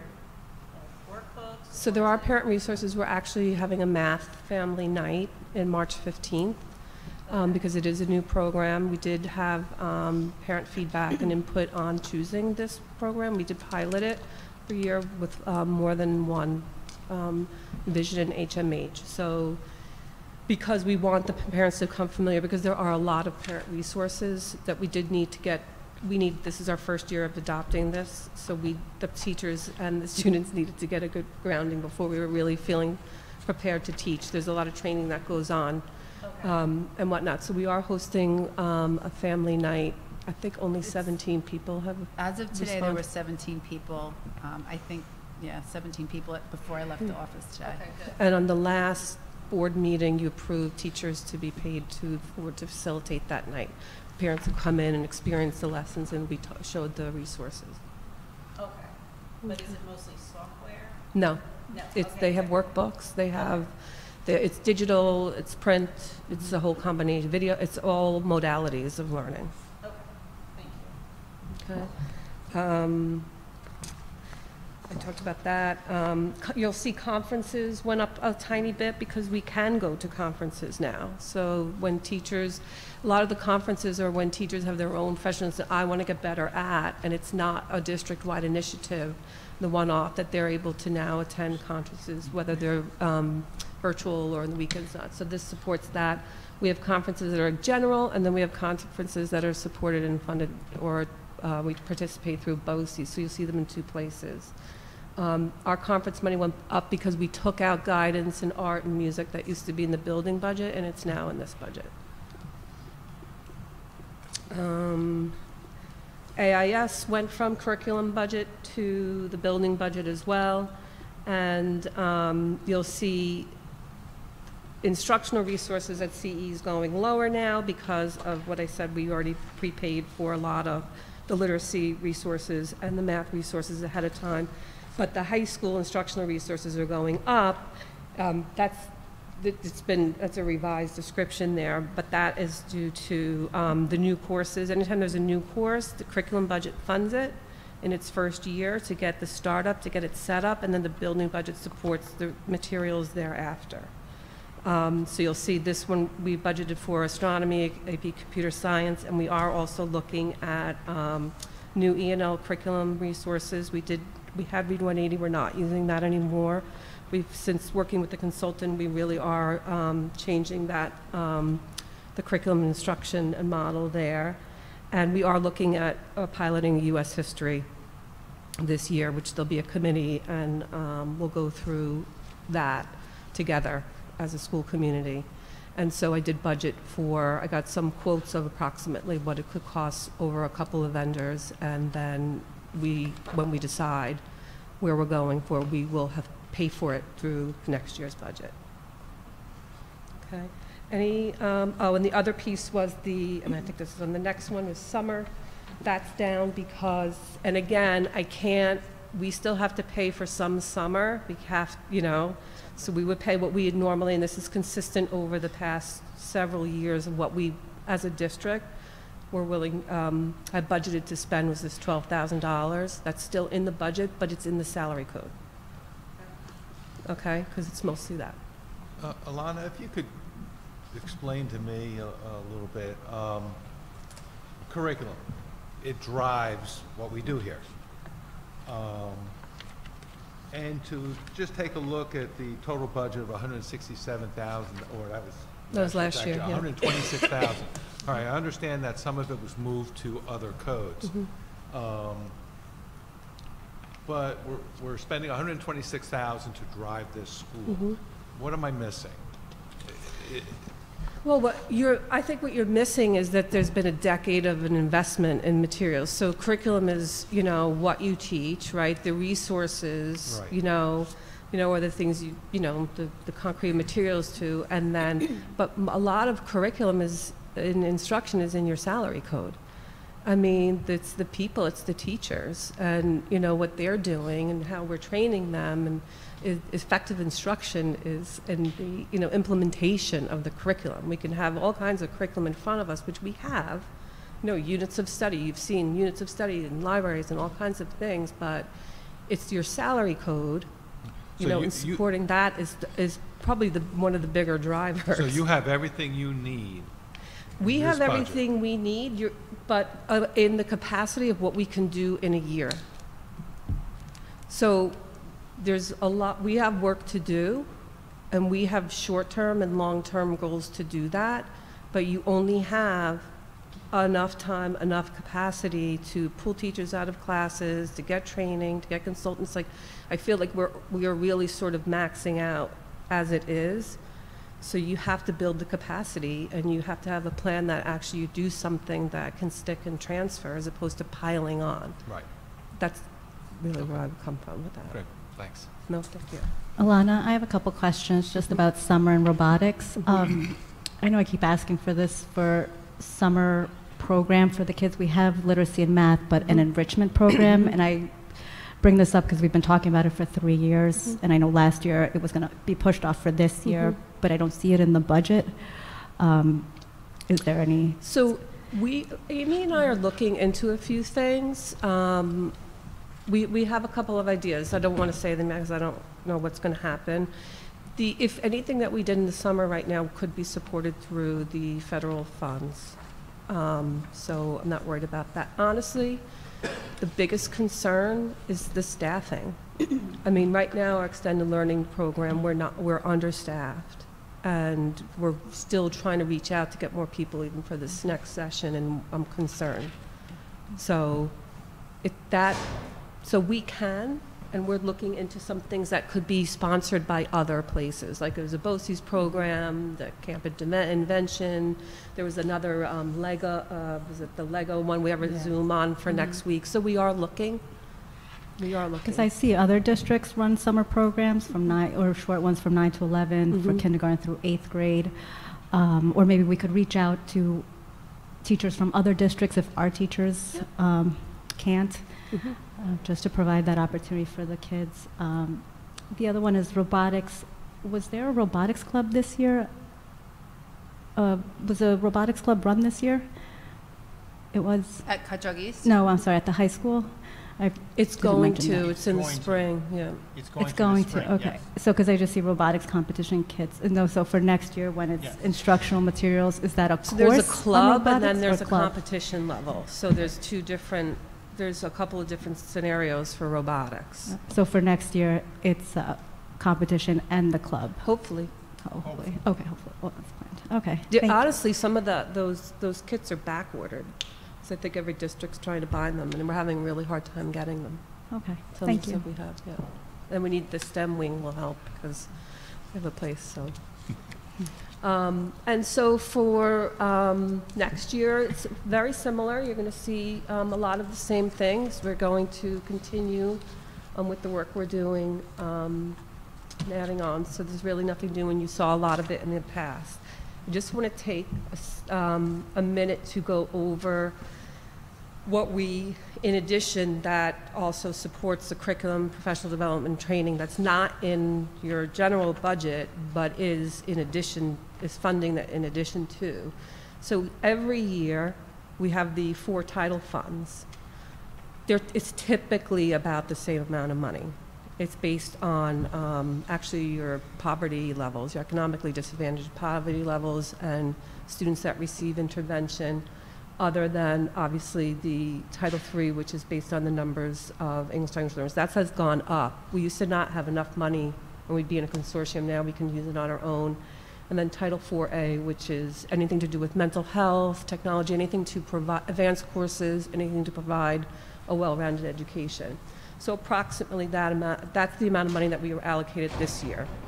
So that's every year. You have to use the money up within the year, and there's a lot of rules and um, a lot of hoops to jump through to get it, but we do it.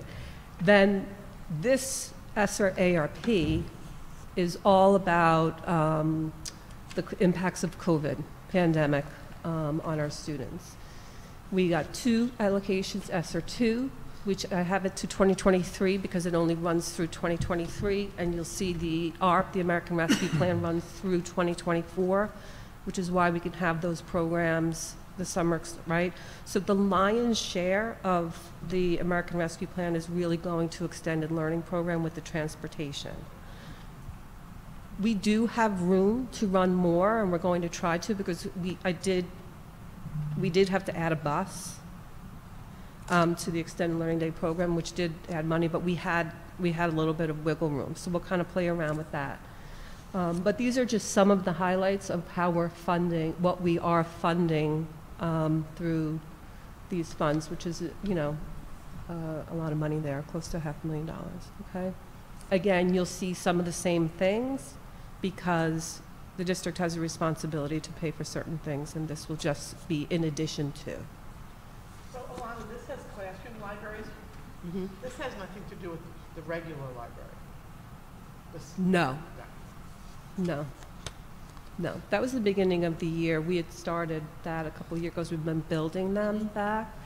Um, and we've got, we did a lot of it through federal funding over the last couple of years, and now Amy's just going to finish up, you know, what's left. So Cutchogue East will be in good shape. And we also did 7 through 12 as well last year. So we're in pretty good shape there. Any questions? Mhm. Good. Thank you. Alana. Thank you.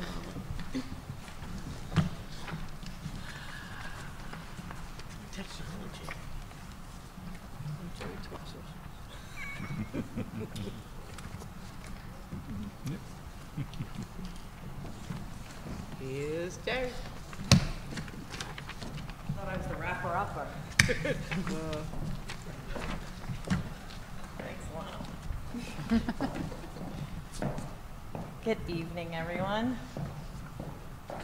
Okay, so, um, Okay, great. So technology. So, um, you know, once again, I want to thank everyone for their support for all of the um, fabulous technology that we have in the district. Um, so I want to talk like, you know, I know we're talking a lot about the five-year plan and stuff like that, which a lot of that will, you'll see the technology because, you know, over the past like 14 years, we've really come a long way in building our infrastructure and stuff like that. So a lot of my plan is talking about like um, refreshing, refreshing cycles and stuff like that. So um, with technology integration, it's not just the computers themselves, it's your de- devices, your professional development, your curriculum and instruction, your financial planning for your technology, your infrastructure, and now we, we include the data and the security as a big item in our technology planning stuff and our path. And with that, it's always with all the students meeting the vision of the mission statement through technology and the support that we can provide for the students with technology. So, um, you know, planning for the 22-23 um, budget and into the future is about enhancing, sustaining, and maintaining what we have. So, you know, last year we went one-to-one completely for grades K through 12, which was a big um, leap for our district. You know, during COVID, we purchased a lot of software for synchronous and asynchronous learning for the students at different grade levels. Um, you know, we, we were lucky that we were able to get devices for teachers, teacher assistants, clerical staff, you know, all administrators. Anybody who needed a device was able to have the device. We were able to provide them to the students at home. Um, we were able to provide MiFi devices wherever was needed for the students.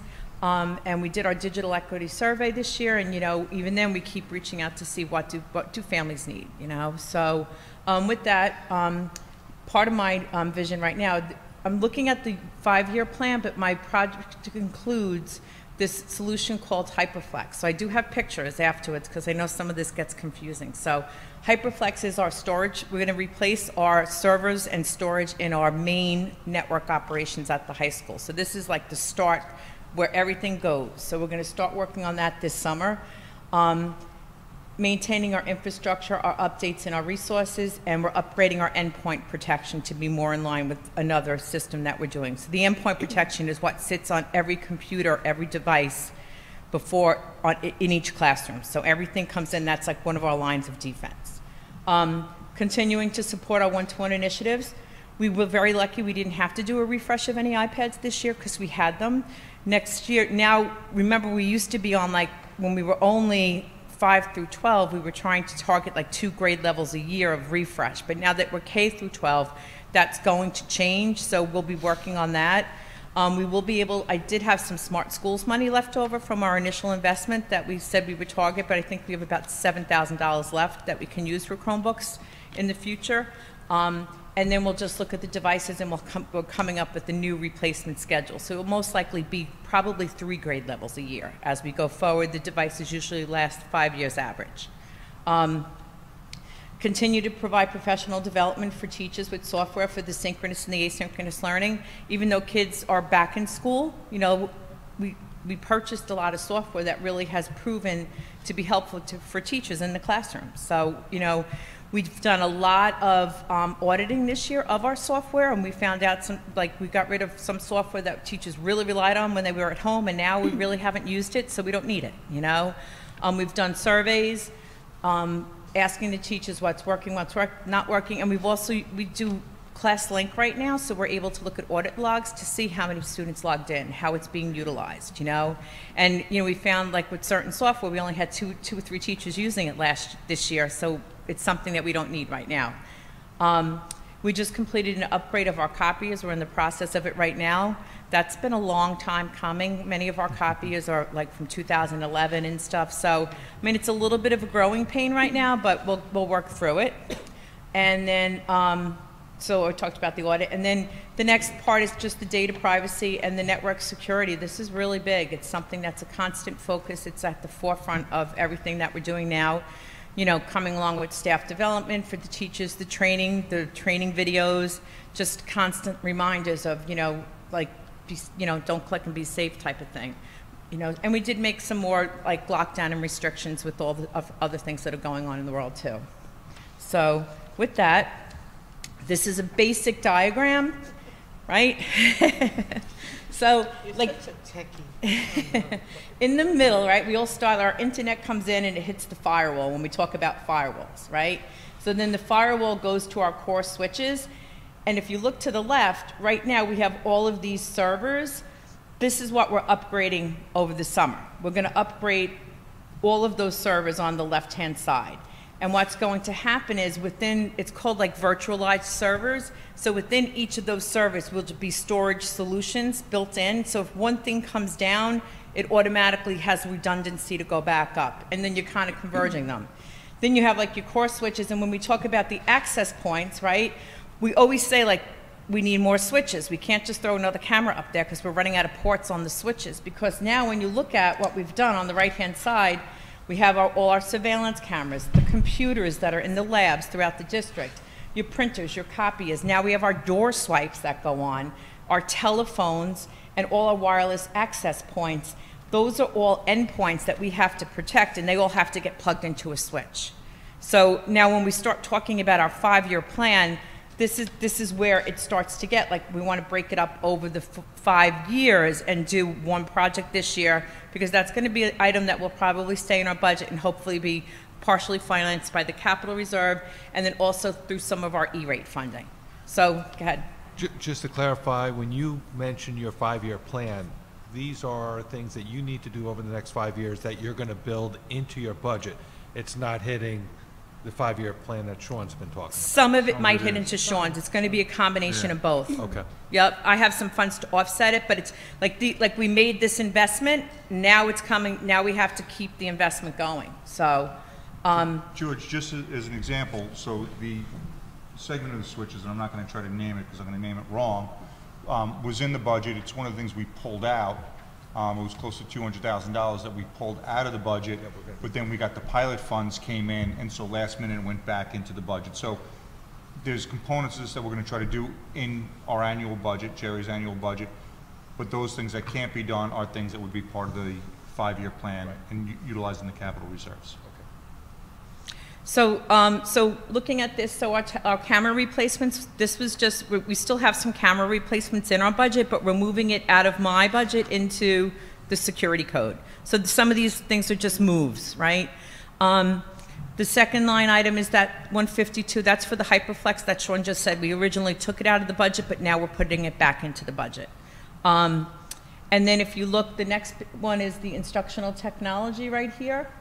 Um, this is also part of that Hyperflex project, right? So it's, it's going, and then included in that is like our firewall costs, our Hyperflex project, our costs for our Barracuda, our um, endpoint protection, our GoGuardian is no longer with BOCES. It was with BOCES, and then there was a data privacy thing where BOCES didn't sign on with GoGuardian, so now that's back in our budget. So it came out of BOCES and it's in my budget.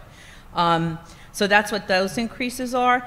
And then on the bottom, the last line, like the notifications, those are mostly BOCES increases. BOCES did at least a 3% increase. Those are BOCES instructional products. So, um, and we added back in, we took out, um, what was it, Dave? What did we took out? We just added back in, um, Passport for Good. We originally took that out. That was like 5,000 and we, put- we wanted to put that back in. So, so that, that's, Can I ask you, what Hyperflex, I've never heard of it. Is that part of Microsoft or? So this is Hyperflex. It's the solution. This is the Hyperflex is going to tie all of this together in a in a ser- SAN server solution. It's a VM solution.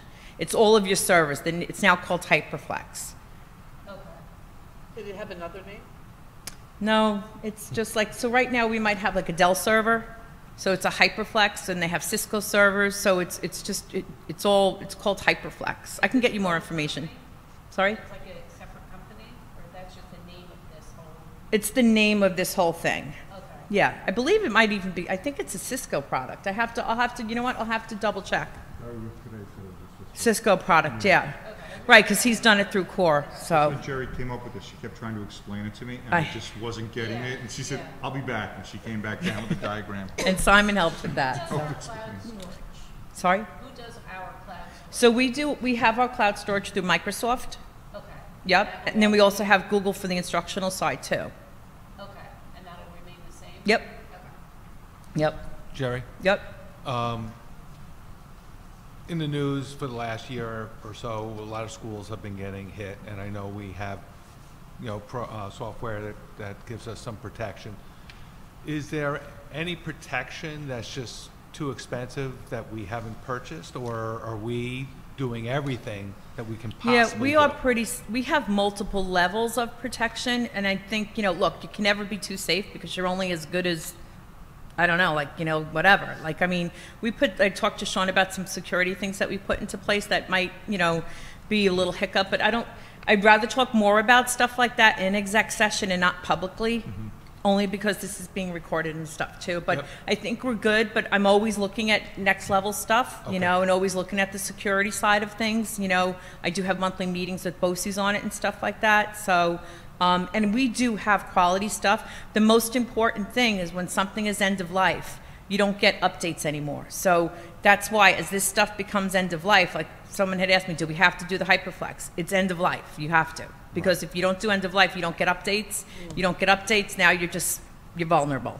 Yeah, I just want to make Yeah. sure that Yep. if, if there, if you think there's a need, that you at least bring it to us. Yep, You absolutely. don't just say it's too expensive. Nope, nope, absolutely. Because Yeah. it can really hurt us. She'll let you know.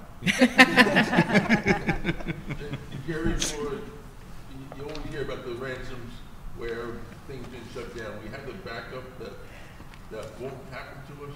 I can't guarantee that. Nobody can. Everyone thinks that they can, but you can't. I mean, you know, I'll give you an example. Like right now, I know the insurance companies are like, if, and Kevin might be able to speak to this, but like I know some districts that don't have multi-factor authentication on, right? When the person logs into the computer, they get the little token to go to their phone or whatever it is. The insurance companies are telling them they're not going to insure them or their rates are going to be triple because they don't have MFA, because MFA is a really way to stop someone from logging into your account. So, I mean, there's no guarantee. And school districts are targets because they know that school districts have the insurance and the money to pay for it. So, yeah. The- My, my, my question is, if they did lock us down, uh, do we or can we have the backup that, that That, so, allow us to come back on? I don't, without paying anything? it would depend what would happen. Okay.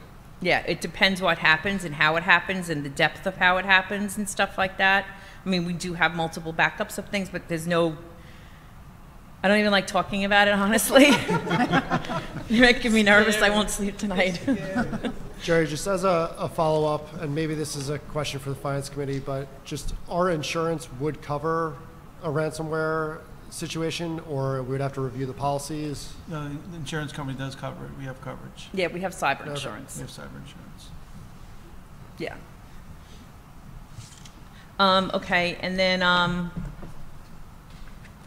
where else? What else are some things I highlighted? Um, and then, so let me go on. Sorry, I'm reading off my sheet too. Okay, so we covered this, and then, okay, so here, these are just basic, some of the things were just moved. I mean, we really did a, a good job of really looking and saying, okay, if we have other stuff, where can we take, believe it or not, my budget went down a bit, you know, because we have some of the uh, ESSA funding that, um, Alana was able to help us with too.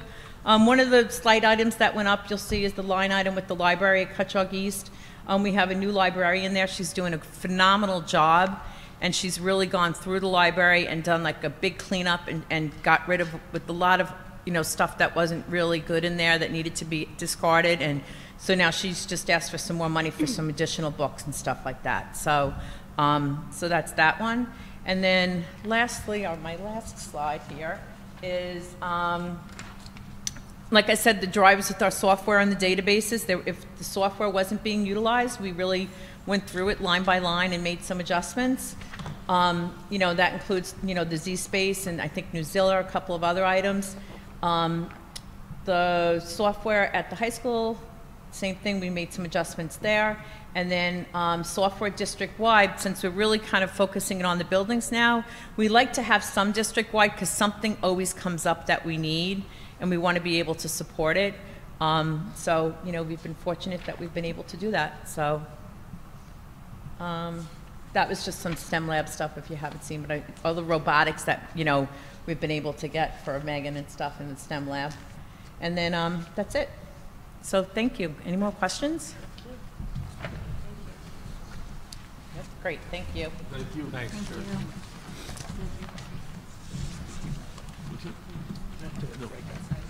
What?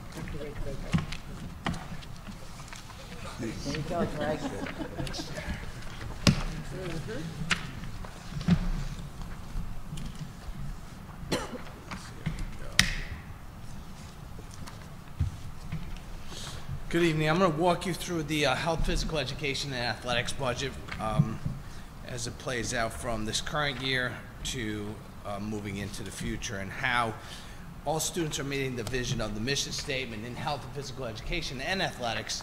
Instructionally, this presentation is really going to talk about sustaining and maintaining what we currently have. Um, not, you're not going to see many changes in there. Um, this year, we're continuing to meet the PE regulations, which I've always been very, very proud of, to meet those PE regulations in the elementary school.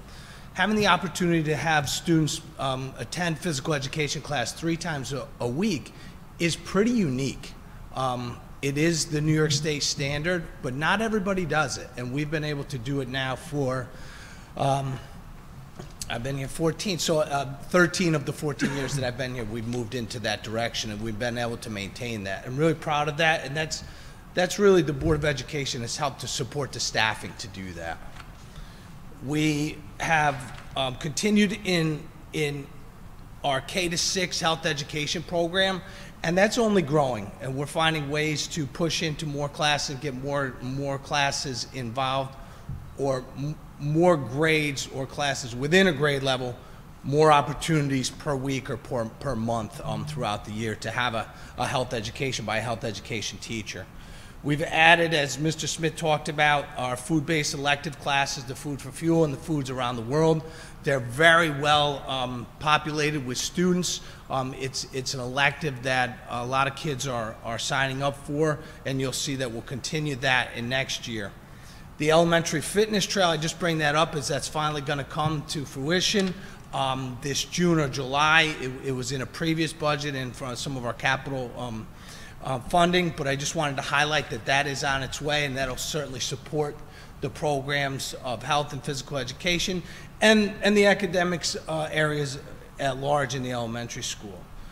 We currently offer 22 sport, we have 22 different sport offerings um, with 58 total athletic teams this year. Um, you'll see our unified basketball team kick off the ground this year. Um, we, we weren't able to run it last spring um, during the during the, the, the pandemic, um, and hopefully we get that off the ground this year. We added and, and competed, as I spoke about in our last meeting, our first competitive cheer season, which was uh, very successful. You'll see outside that the athletic, uh, on the north side of the, of the building, that the athletic field rate renovation has been done. Um, outdoor Wi-Fi capability has been installed. That's supported really through Miss Doherty's budget, um, but it does support what we do on the outside for athletics.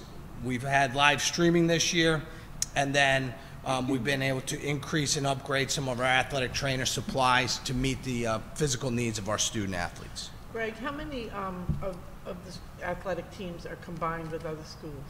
So we have a few that we host and a few that we send out. So we host boys and girls lacrosse and, and wrestling and junior high softball. But we send out football and JV and varsity softball.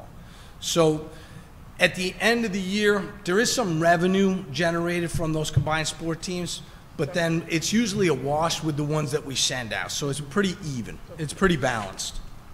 There are some transportation costs involved in the shuttling process, but they're, they're minimal.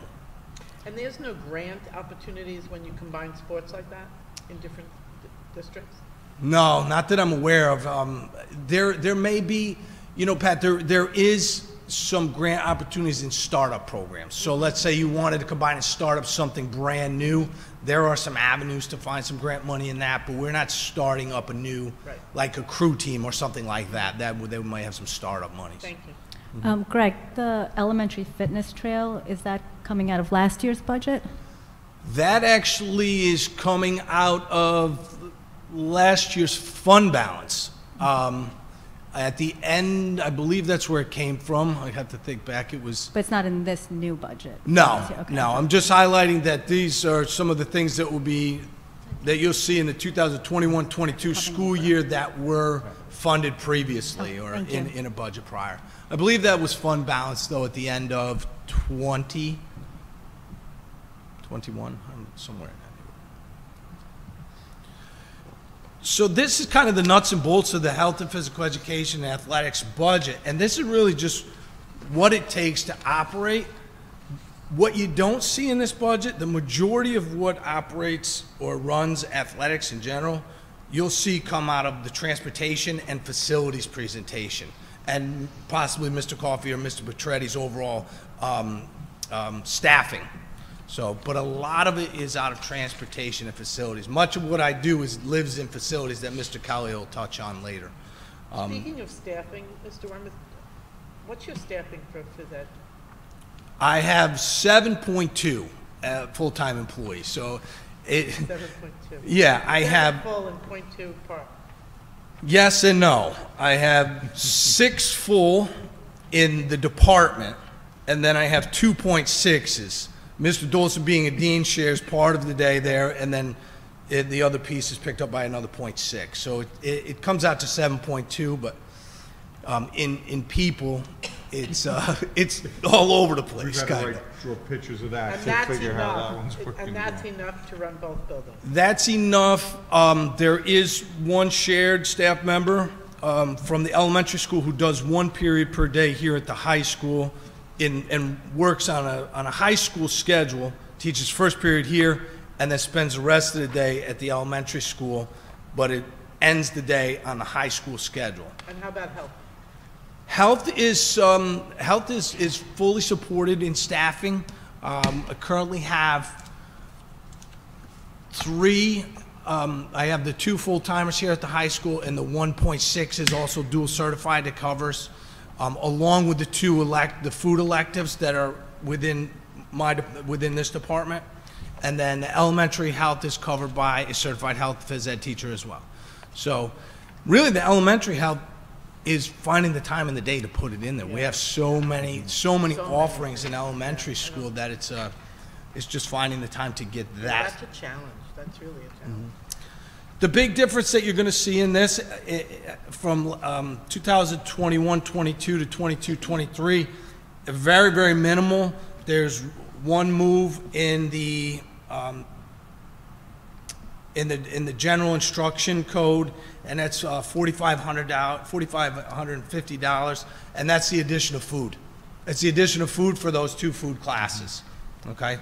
So, and then the other little change in there is a one point, uh, a one and a half percent increase in our contractual dues and service fees. So those went, those were, um, up to one point five percent this year for the state and the section. So otherwise, it's, it's, it's flat. Um, and it has been right around this number for many, many years. What are we planning on doing in the future is really supporting and maintaining what we do. Um, continuing our K-12 health education initiatives, um, maintaining our compliance in PE, continuing those electives that we offer. Um, right now, we're, we're, we're going to continue with the food-based electives, those two, but there are always ideas coming forward in the future that students come up with that um, we try to hope to support out of all departments, but um, ours has some unique flexibility, the health and PE department. Um, we, uh, working with Ms. Allegro, we've been able to and planning on continuing to expand our adapted PE opportunities for that student population, both through um, instruction and outside, which you'll see at the bottom through our unified sports offerings. Um, and then really it's um, taking care of what we have. We've got to maintain our fitness center, and that uh, comes with a price tag annually. Not a lot, but we have to put some cash into there to keep that place going and, and uh, safe. Um, as far as athletics, what we're looking to do, um, we've, we're looking to increase our unified sports offerings to um, from just basketball to now soccer and bowling. Um, that should be coming along in 22, 23. It'd be nice to send those that same student population out to the soccer field and to the bowling alleys, um, and really looking to maintain the uh, the the 58 different sport um, teams that we have, and then maintain our athletic our athletic facilities, our equipment and supplies. And like I said, a lot of that comes. Um, you'll see that in the facilities um, presentation. And then I added the scoreboard in here, as that will be a new addition, even though um, we talked about it prior, that that's going to be taken from some, some funding at the end of this year. Well, that's, that, that's the nuts and bolts of the health and P and athletics presentation. It's really about maintaining what we have and continuing our success in those areas. Greg, do you see us adding more combined sports as enrollment drops? Or You know, it's a, lack of enrollment it's- stop a sport it- from running? it's something that you have, we have to pay attention to, not just here in Mattituck, but definitely for us, but our neighbors in Southold and Greenport is something eventually is going to drop. Uh, we're just not going to be. We I showed you we have 22 different sports and 58 different teams. It's not sustainable, right. not with the population, right? But combining could be. So I could anticipate possibly a tennis combination at some time. Um, where, where Mr. Dolce and I were talking about, we're probably going to, we're, we're really thinking about dropping JV girls tennis in the fall and adding junior high girls tennis, which we never had. So bypassing that mid-level, go junior high and varsity, Right. and getting those kids engaged and then getting them up. Yeah, yeah, yeah. So we have to kind of be creative um, in some of the things that we're doing. But I, I think, yeah, some of the things we're, we're going to combine in when it makes sense. Um, and if you have student support in it, you know, there's enough people, kids that want to do it. Greg, what if there, um, not sure how the process work, if there's interest from some students to try, to do another sport that we don't offer or we're not combined, such as field hockey, swimming, or gymnastics, like how does that come about? So we, prior to, to me coming here, we were combining field hockey with uh, Greenport hosts a, field hockey team and Southold combines with them. Um, I haven't really ever heard any interest of going back to field hockey. And then you have to weigh out those options. So if we added another female sport in the fall season, such as field hockey, something else is definitely going down, right? So will we be able to maintain soccer, cross country, girls tennis, and volleyball in that fall season with the addition of field hockey? And it's the same question when it comes to boys volleyball. So if we add boys volleyball during that fall season where there's football, golf, soccer, cross country, and there might be one more in there. That's the demise, I think, at that point. That'll be the demise of the football program, and that's a North Fork program. So you have to really balance what what it is you're going to pick and choose. It's, but it, it's, it's happened, though. I mean, we mm-hmm. started competitive cheer this year, right? That was a group of young ladies that, you know, were, were pushing on us and organized, and they, uh, they recruited a coach on staff, and we were able to, to run that this year. But to what Mr. Worm is saying, that was done in the winter season when we really just had girls' basketball. There weren't, it wasn't up against a lot of things, so. And that's how winter track came about. Yeah. It was really student driven, and the board and administration, we got on it. We said, let's do it. You know, so um, in my experience, if I've come to you as a board of education and ever asked for another program or another team, uh, you, you you've always seen the benefit of that for our students, and and uh, you know I've always enjoyed and appreciated that. So I think, and I hope we would continue that if, if the need came about. Thank you. Greg, do you know off the top of your head, say what percentage of our students participate in the athletic 53. Um, what can we do to get more involved in that? So 53% of our student population this year is currently um, involved in athletics grades 7 through 12. You know, in comparison to other districts throughout the county, that's a very high end.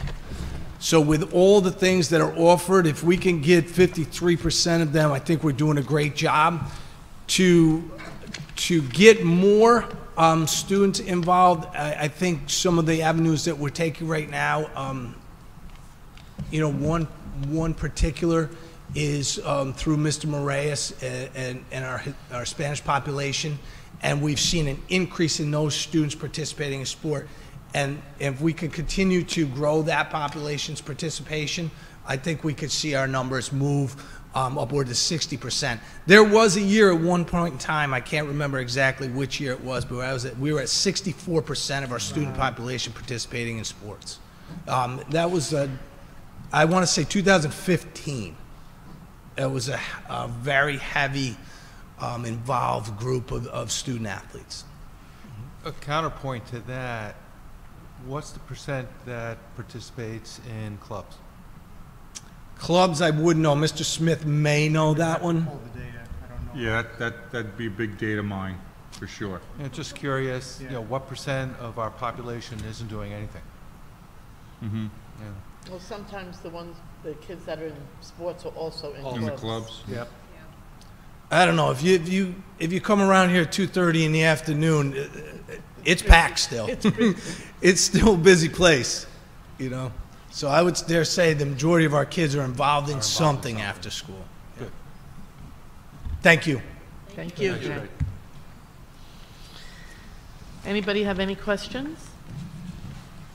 I just want to say thank you to everybody. I know creating a budget is a monumental task on every level, from clerical to administration to the teachers, so thank you very, very much.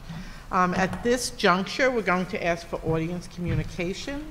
Please come up to the podium, state your name, residence, and topic, and you'll be allowed to speak.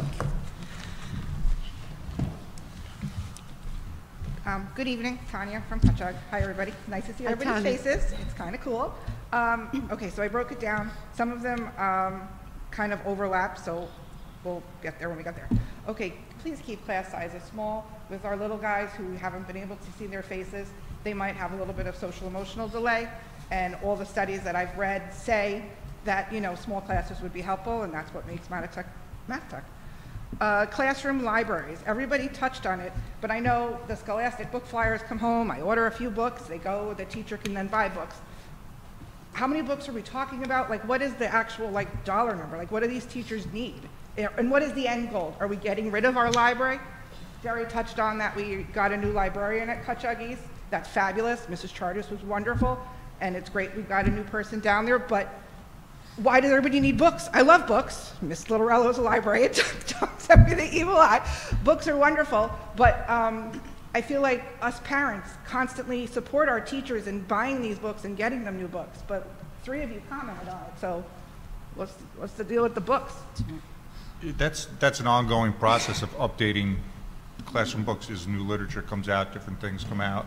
Yeah, um, the classroom libraries, initially, when you start reading and writing workshop, you, you build up a classroom library, there's a big investment up front.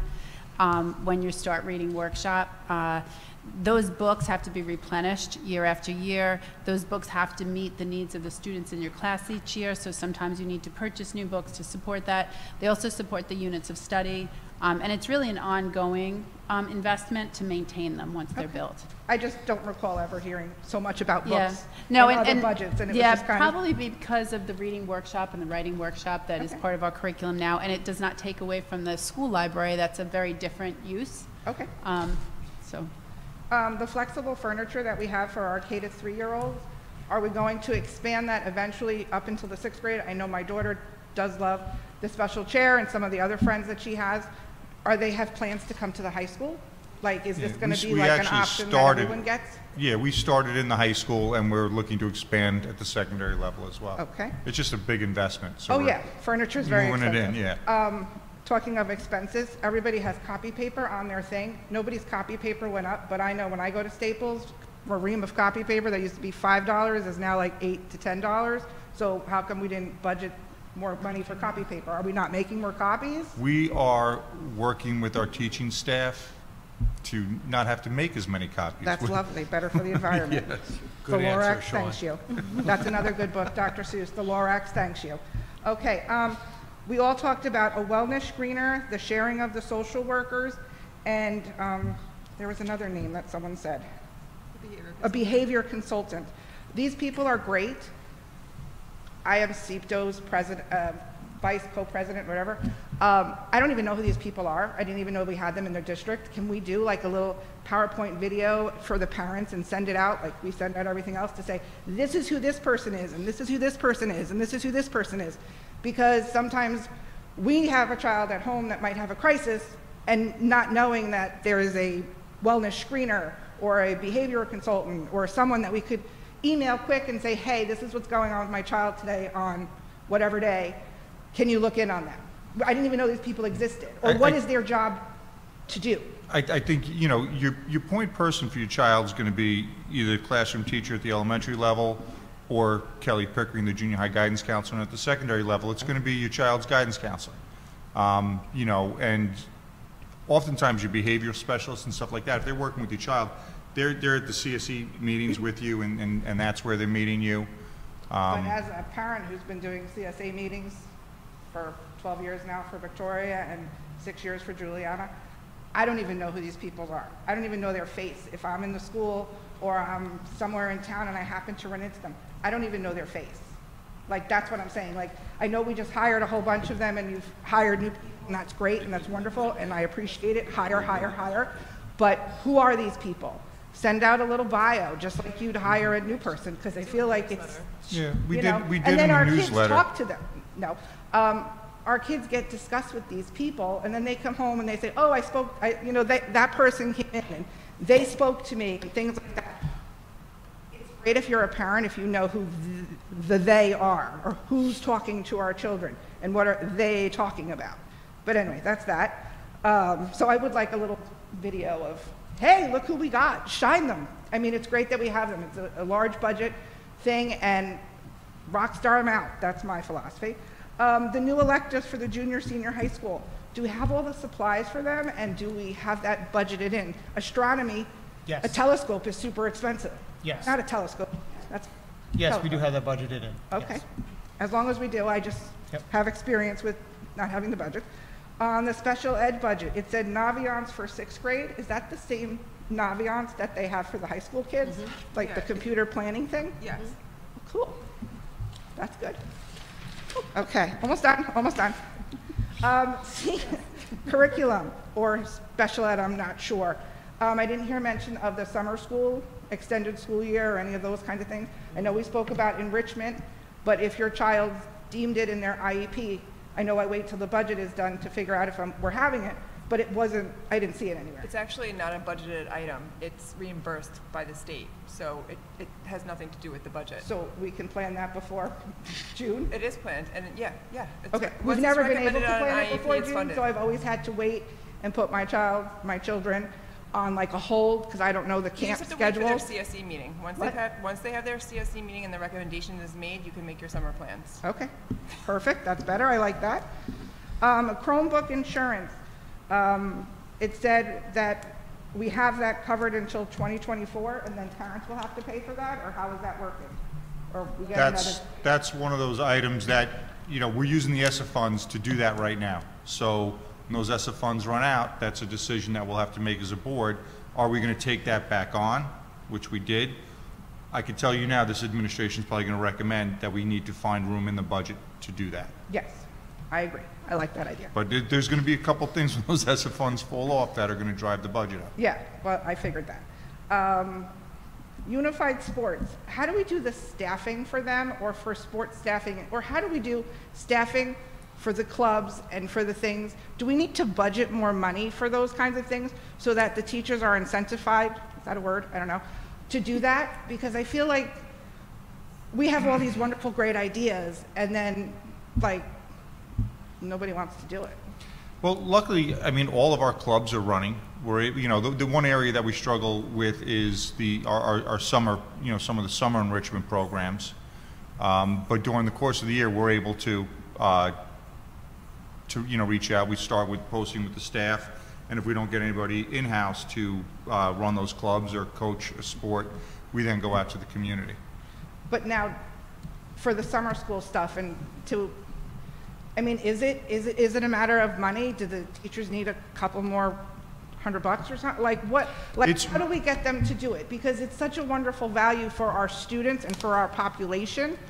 But I feel like we have this, the staff problem like was stated. Well, you know, and, and I'll even go back and I'll let Mr. Wormuth interject. We, we had two staff that came to us and wanted to run a full-on summer program, I Oh, want to say yes. five or six years ago, and planned and prepped and advertised, and we didn't have, none of the students wanted to do the program. It wasn't viable. Um, two years ago, we tried to run a pro, pre-COVID, we tried to run a, we tried again to run a program, and we posted, and we, we just couldn't get the teachers at that point in time. Um, I didn't feel at that point in time it was a, financial thing. It Okay. was more of a commitment thing. Okay. I mean, because I think the community at large, from speaking to them, that if our kid could go to a camp at their school, it would be much better than the camps out here. And the camps out here are already all shut out. Like, if you want to send your kid anywhere for even time, they're shut out, they're done. And it's March, March 1st, everybody had waiting lists. So, you know, think about that maybe we shift monies around or something and then offer something, because I know our parents need it, and we're about. Okay, that's all I have. Thanks.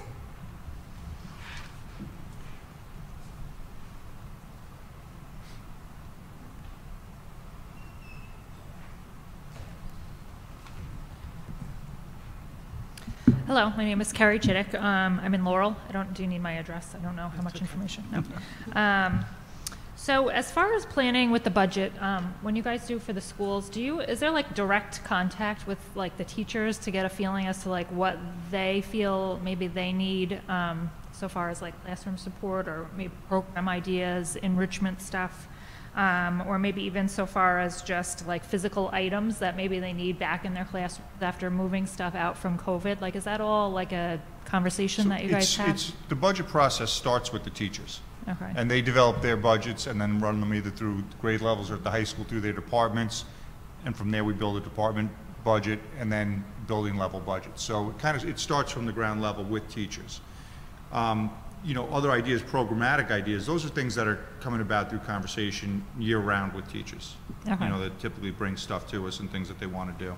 Okay, I figured that there was lots of com- open communication through everything, I just, or how that worked, or how it trickled down. Um, and then I also just wanted to say that I am also in favor of the small classes, um, especially in kindergarten one and two, you know, um, there's no dedicated aide as far as I know. Um, I was in, um, kindergarten, he's now in fourth grade. There was a dedicated aide in each of the kindergarten classes for his year, but I don't think that still exists. I think there's maybe one that floats around. We have one. Um, so I really think that it's kind of important to keep especially those younger kids in the smaller classes. Um, and of course, I'm always gonna, um, I'm always gonna advocate for, um, my son's class, so the fourth grade going into the fifth grade. I would like to see that class especially, um, keep that extra session, uh, section, because this year I think it was really a good thing for that class. Um, there's a lot of boys in that class, and I think it's just a tough year and a tough class in general, so, um, that's that. Um, and then also, so I'm on the board for the PTA in Cutchogue East, and there's just a couple of things that I'll just mention. Um, other parents comment on, um, maybe to take into consideration for the budget either this year or in coming years. Um, uh, the zSpace and the STEM and the computer labs, like that has been like a big thing like kids are into. I know talking about the technology and everything. Um, computer lab, I don't know if you got rid of that, maybe because they were using whatever programs they were doing there. Maybe they're doing on their Chromebooks now in the classroom. Um, I'm not sure how that's working. But the zSpace, like my son especially, he's like, when are we going to use that again? That's great. Um, so I don't know if that was something that disappeared with COVID and not being able to use stuff, or if it was teaching or staffing or. zSpace was, it was a a combination of things. First of all, COVID did shut it down, and, and we tried to restart it. I know on the secondary level, I could speak to it a little bit better. We just couldn't get teacher buy-in, and it, it's, um, the annual licensing is, it's a big, uh, price tag with that. We're looking, we have the computers, we're looking at different ways on how we could potentially move them down to Cutchogue East and, and support their use down there, um, where there seemed to be a, a little bit more interest in, than what we had at the secondary level. Okay. Um, Also, a lot of parents talking about the after-school clubs. Um, That's great that, you know, everything is up and running this year, and we really appreciate that. Um, The kids seem to be enjoying it. Um, My question was, I just don't know, you met- mentioned, Amy, that um, some of them were full. Um, Is there an option to, like, is there like a wait list for kids that are running, or can they run them again so that What other kids? What they've done is, um, when they get full, like if it's a third and fourth grade club, what they'll do is, um, the teachers have split it into two different days. So if the club would have been ten sessions, they'll do five sessions with one grade and five sessions with the other, so all the kids have the opportunity to participate. It just might be less sessions overall. Okay. So I don't believe anyone has been turned down from any. Okay. Um, The Cutchogue Playground, that was also mentioned. I know that's been th- tossed around in the part of the five-year five-year budget. plan, yep. Um, Summer recreational programs, again, I'm- I'll mention that. I know it's been mentioned a couple of times. Parents seem to be very interested in that. Um, The summer camps out here are ridiculously expensive, and um, the price is just like astronomical to ha- send your kid, one kid, one kid, never mind if you have multiple kids, to send them to a week of camp anywhere out here is just crazy. So if there's any sort of um, program or anything that we could do for the, um, for the parents and for the kids through the school, that would be awesome. Um, There was also somebody that had mentioned um, interest in possibly um, a gifted and talented program at Kit- uh, Cutchogue East. Um, And then also orchestra program was mentioned. I know once upon a time they had that in the high school level, I guess. No, Um, we, we tried as a club um, Okay. at the, at the elementary level at one point in time to run it, and they just, again, we didn't have the interest at that point in time. Not enough, okay. And Um, I, I, I, well, because the, the enrichment programs come up at Cutchogue East a couple of times. I've heard that in a couple of different places, and we've had conversation as an administrative team about that. And our feeling is, we're running a, a gifted and talented program for all kids at Cutchogue East. But is Um, it for all kids or all kids that It's for all under? kids. Um, in the, the things that we're offering, foreign language, um, the STEM, you know, all those different programs that we're pushing into during the course of the school day, um, where in other places those would be pullouts, we're pushing in and offering those things for all students, um, the different forms of enrichment. Okay. Um, And then the other thing is the kids, the kids just love the STEAM and um, any of the science and technology. So I, I don't know, obviously, there's probably not any more time to get them in there more frequently. I'm sure you're squeezing it in as it is, but those are, um, you know, big talks of the families and the kids. So they Yeah. enjoy those programs. Okay, that's it. Thank you. Thank you. Sean? Um, Question. I know when we try to do things over the summer or even after school, sometimes we do have a problem trying to get some of the teachers to be involved, especially over the last year and a half, two years. They're just burnt out. Um, Is there a possibility, and I don't know, Kevin, if this is an insurance issue or anything like that, but get some of the parents to volunteer to, to work a program over the summer? I mean, if it's that big of a need for these kids, can we get the parents to, who are able to, um, to assist in that way? I mean, there's always a possibility for something like that. I mean, there's a lot of hurdles that they, the individuals involved would, would have to, you know, as far as fingerprinting and, um, background check and stuff like that, but, I mean, anything's possible. I mean, if there's that much of a push for it, Right. you know, it's worth looking into. I just know that we run into the problem of, of the staffing Yeah. end of it. I had um, a comment. Um, and maybe we could conduct a survey, I'm thinking, of maybe to see what the interest is out there from parents or students for summer enrichment or for after-school clubs. That way it may help us better prepare our budget for if there is an increased interest in clubs instead of allocating 10 sessions and then splitting it and kids only have five sessions where we can run double. Um, so maybe, maybe surveys might be something that could be done to get a better sense. We- Just, just an idea. We could.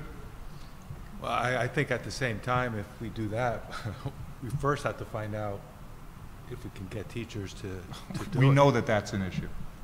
We, we know Um, that that'll be an issue. Because we know that there's the interest, it's the other side that I think the problem is.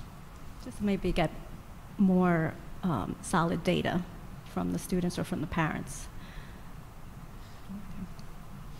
Thank you. Mm-hmm. Anybody else? No? Okay, I need a motion to adjourn. Motion. Need a second? Yep. All in favor? Aye. Good night.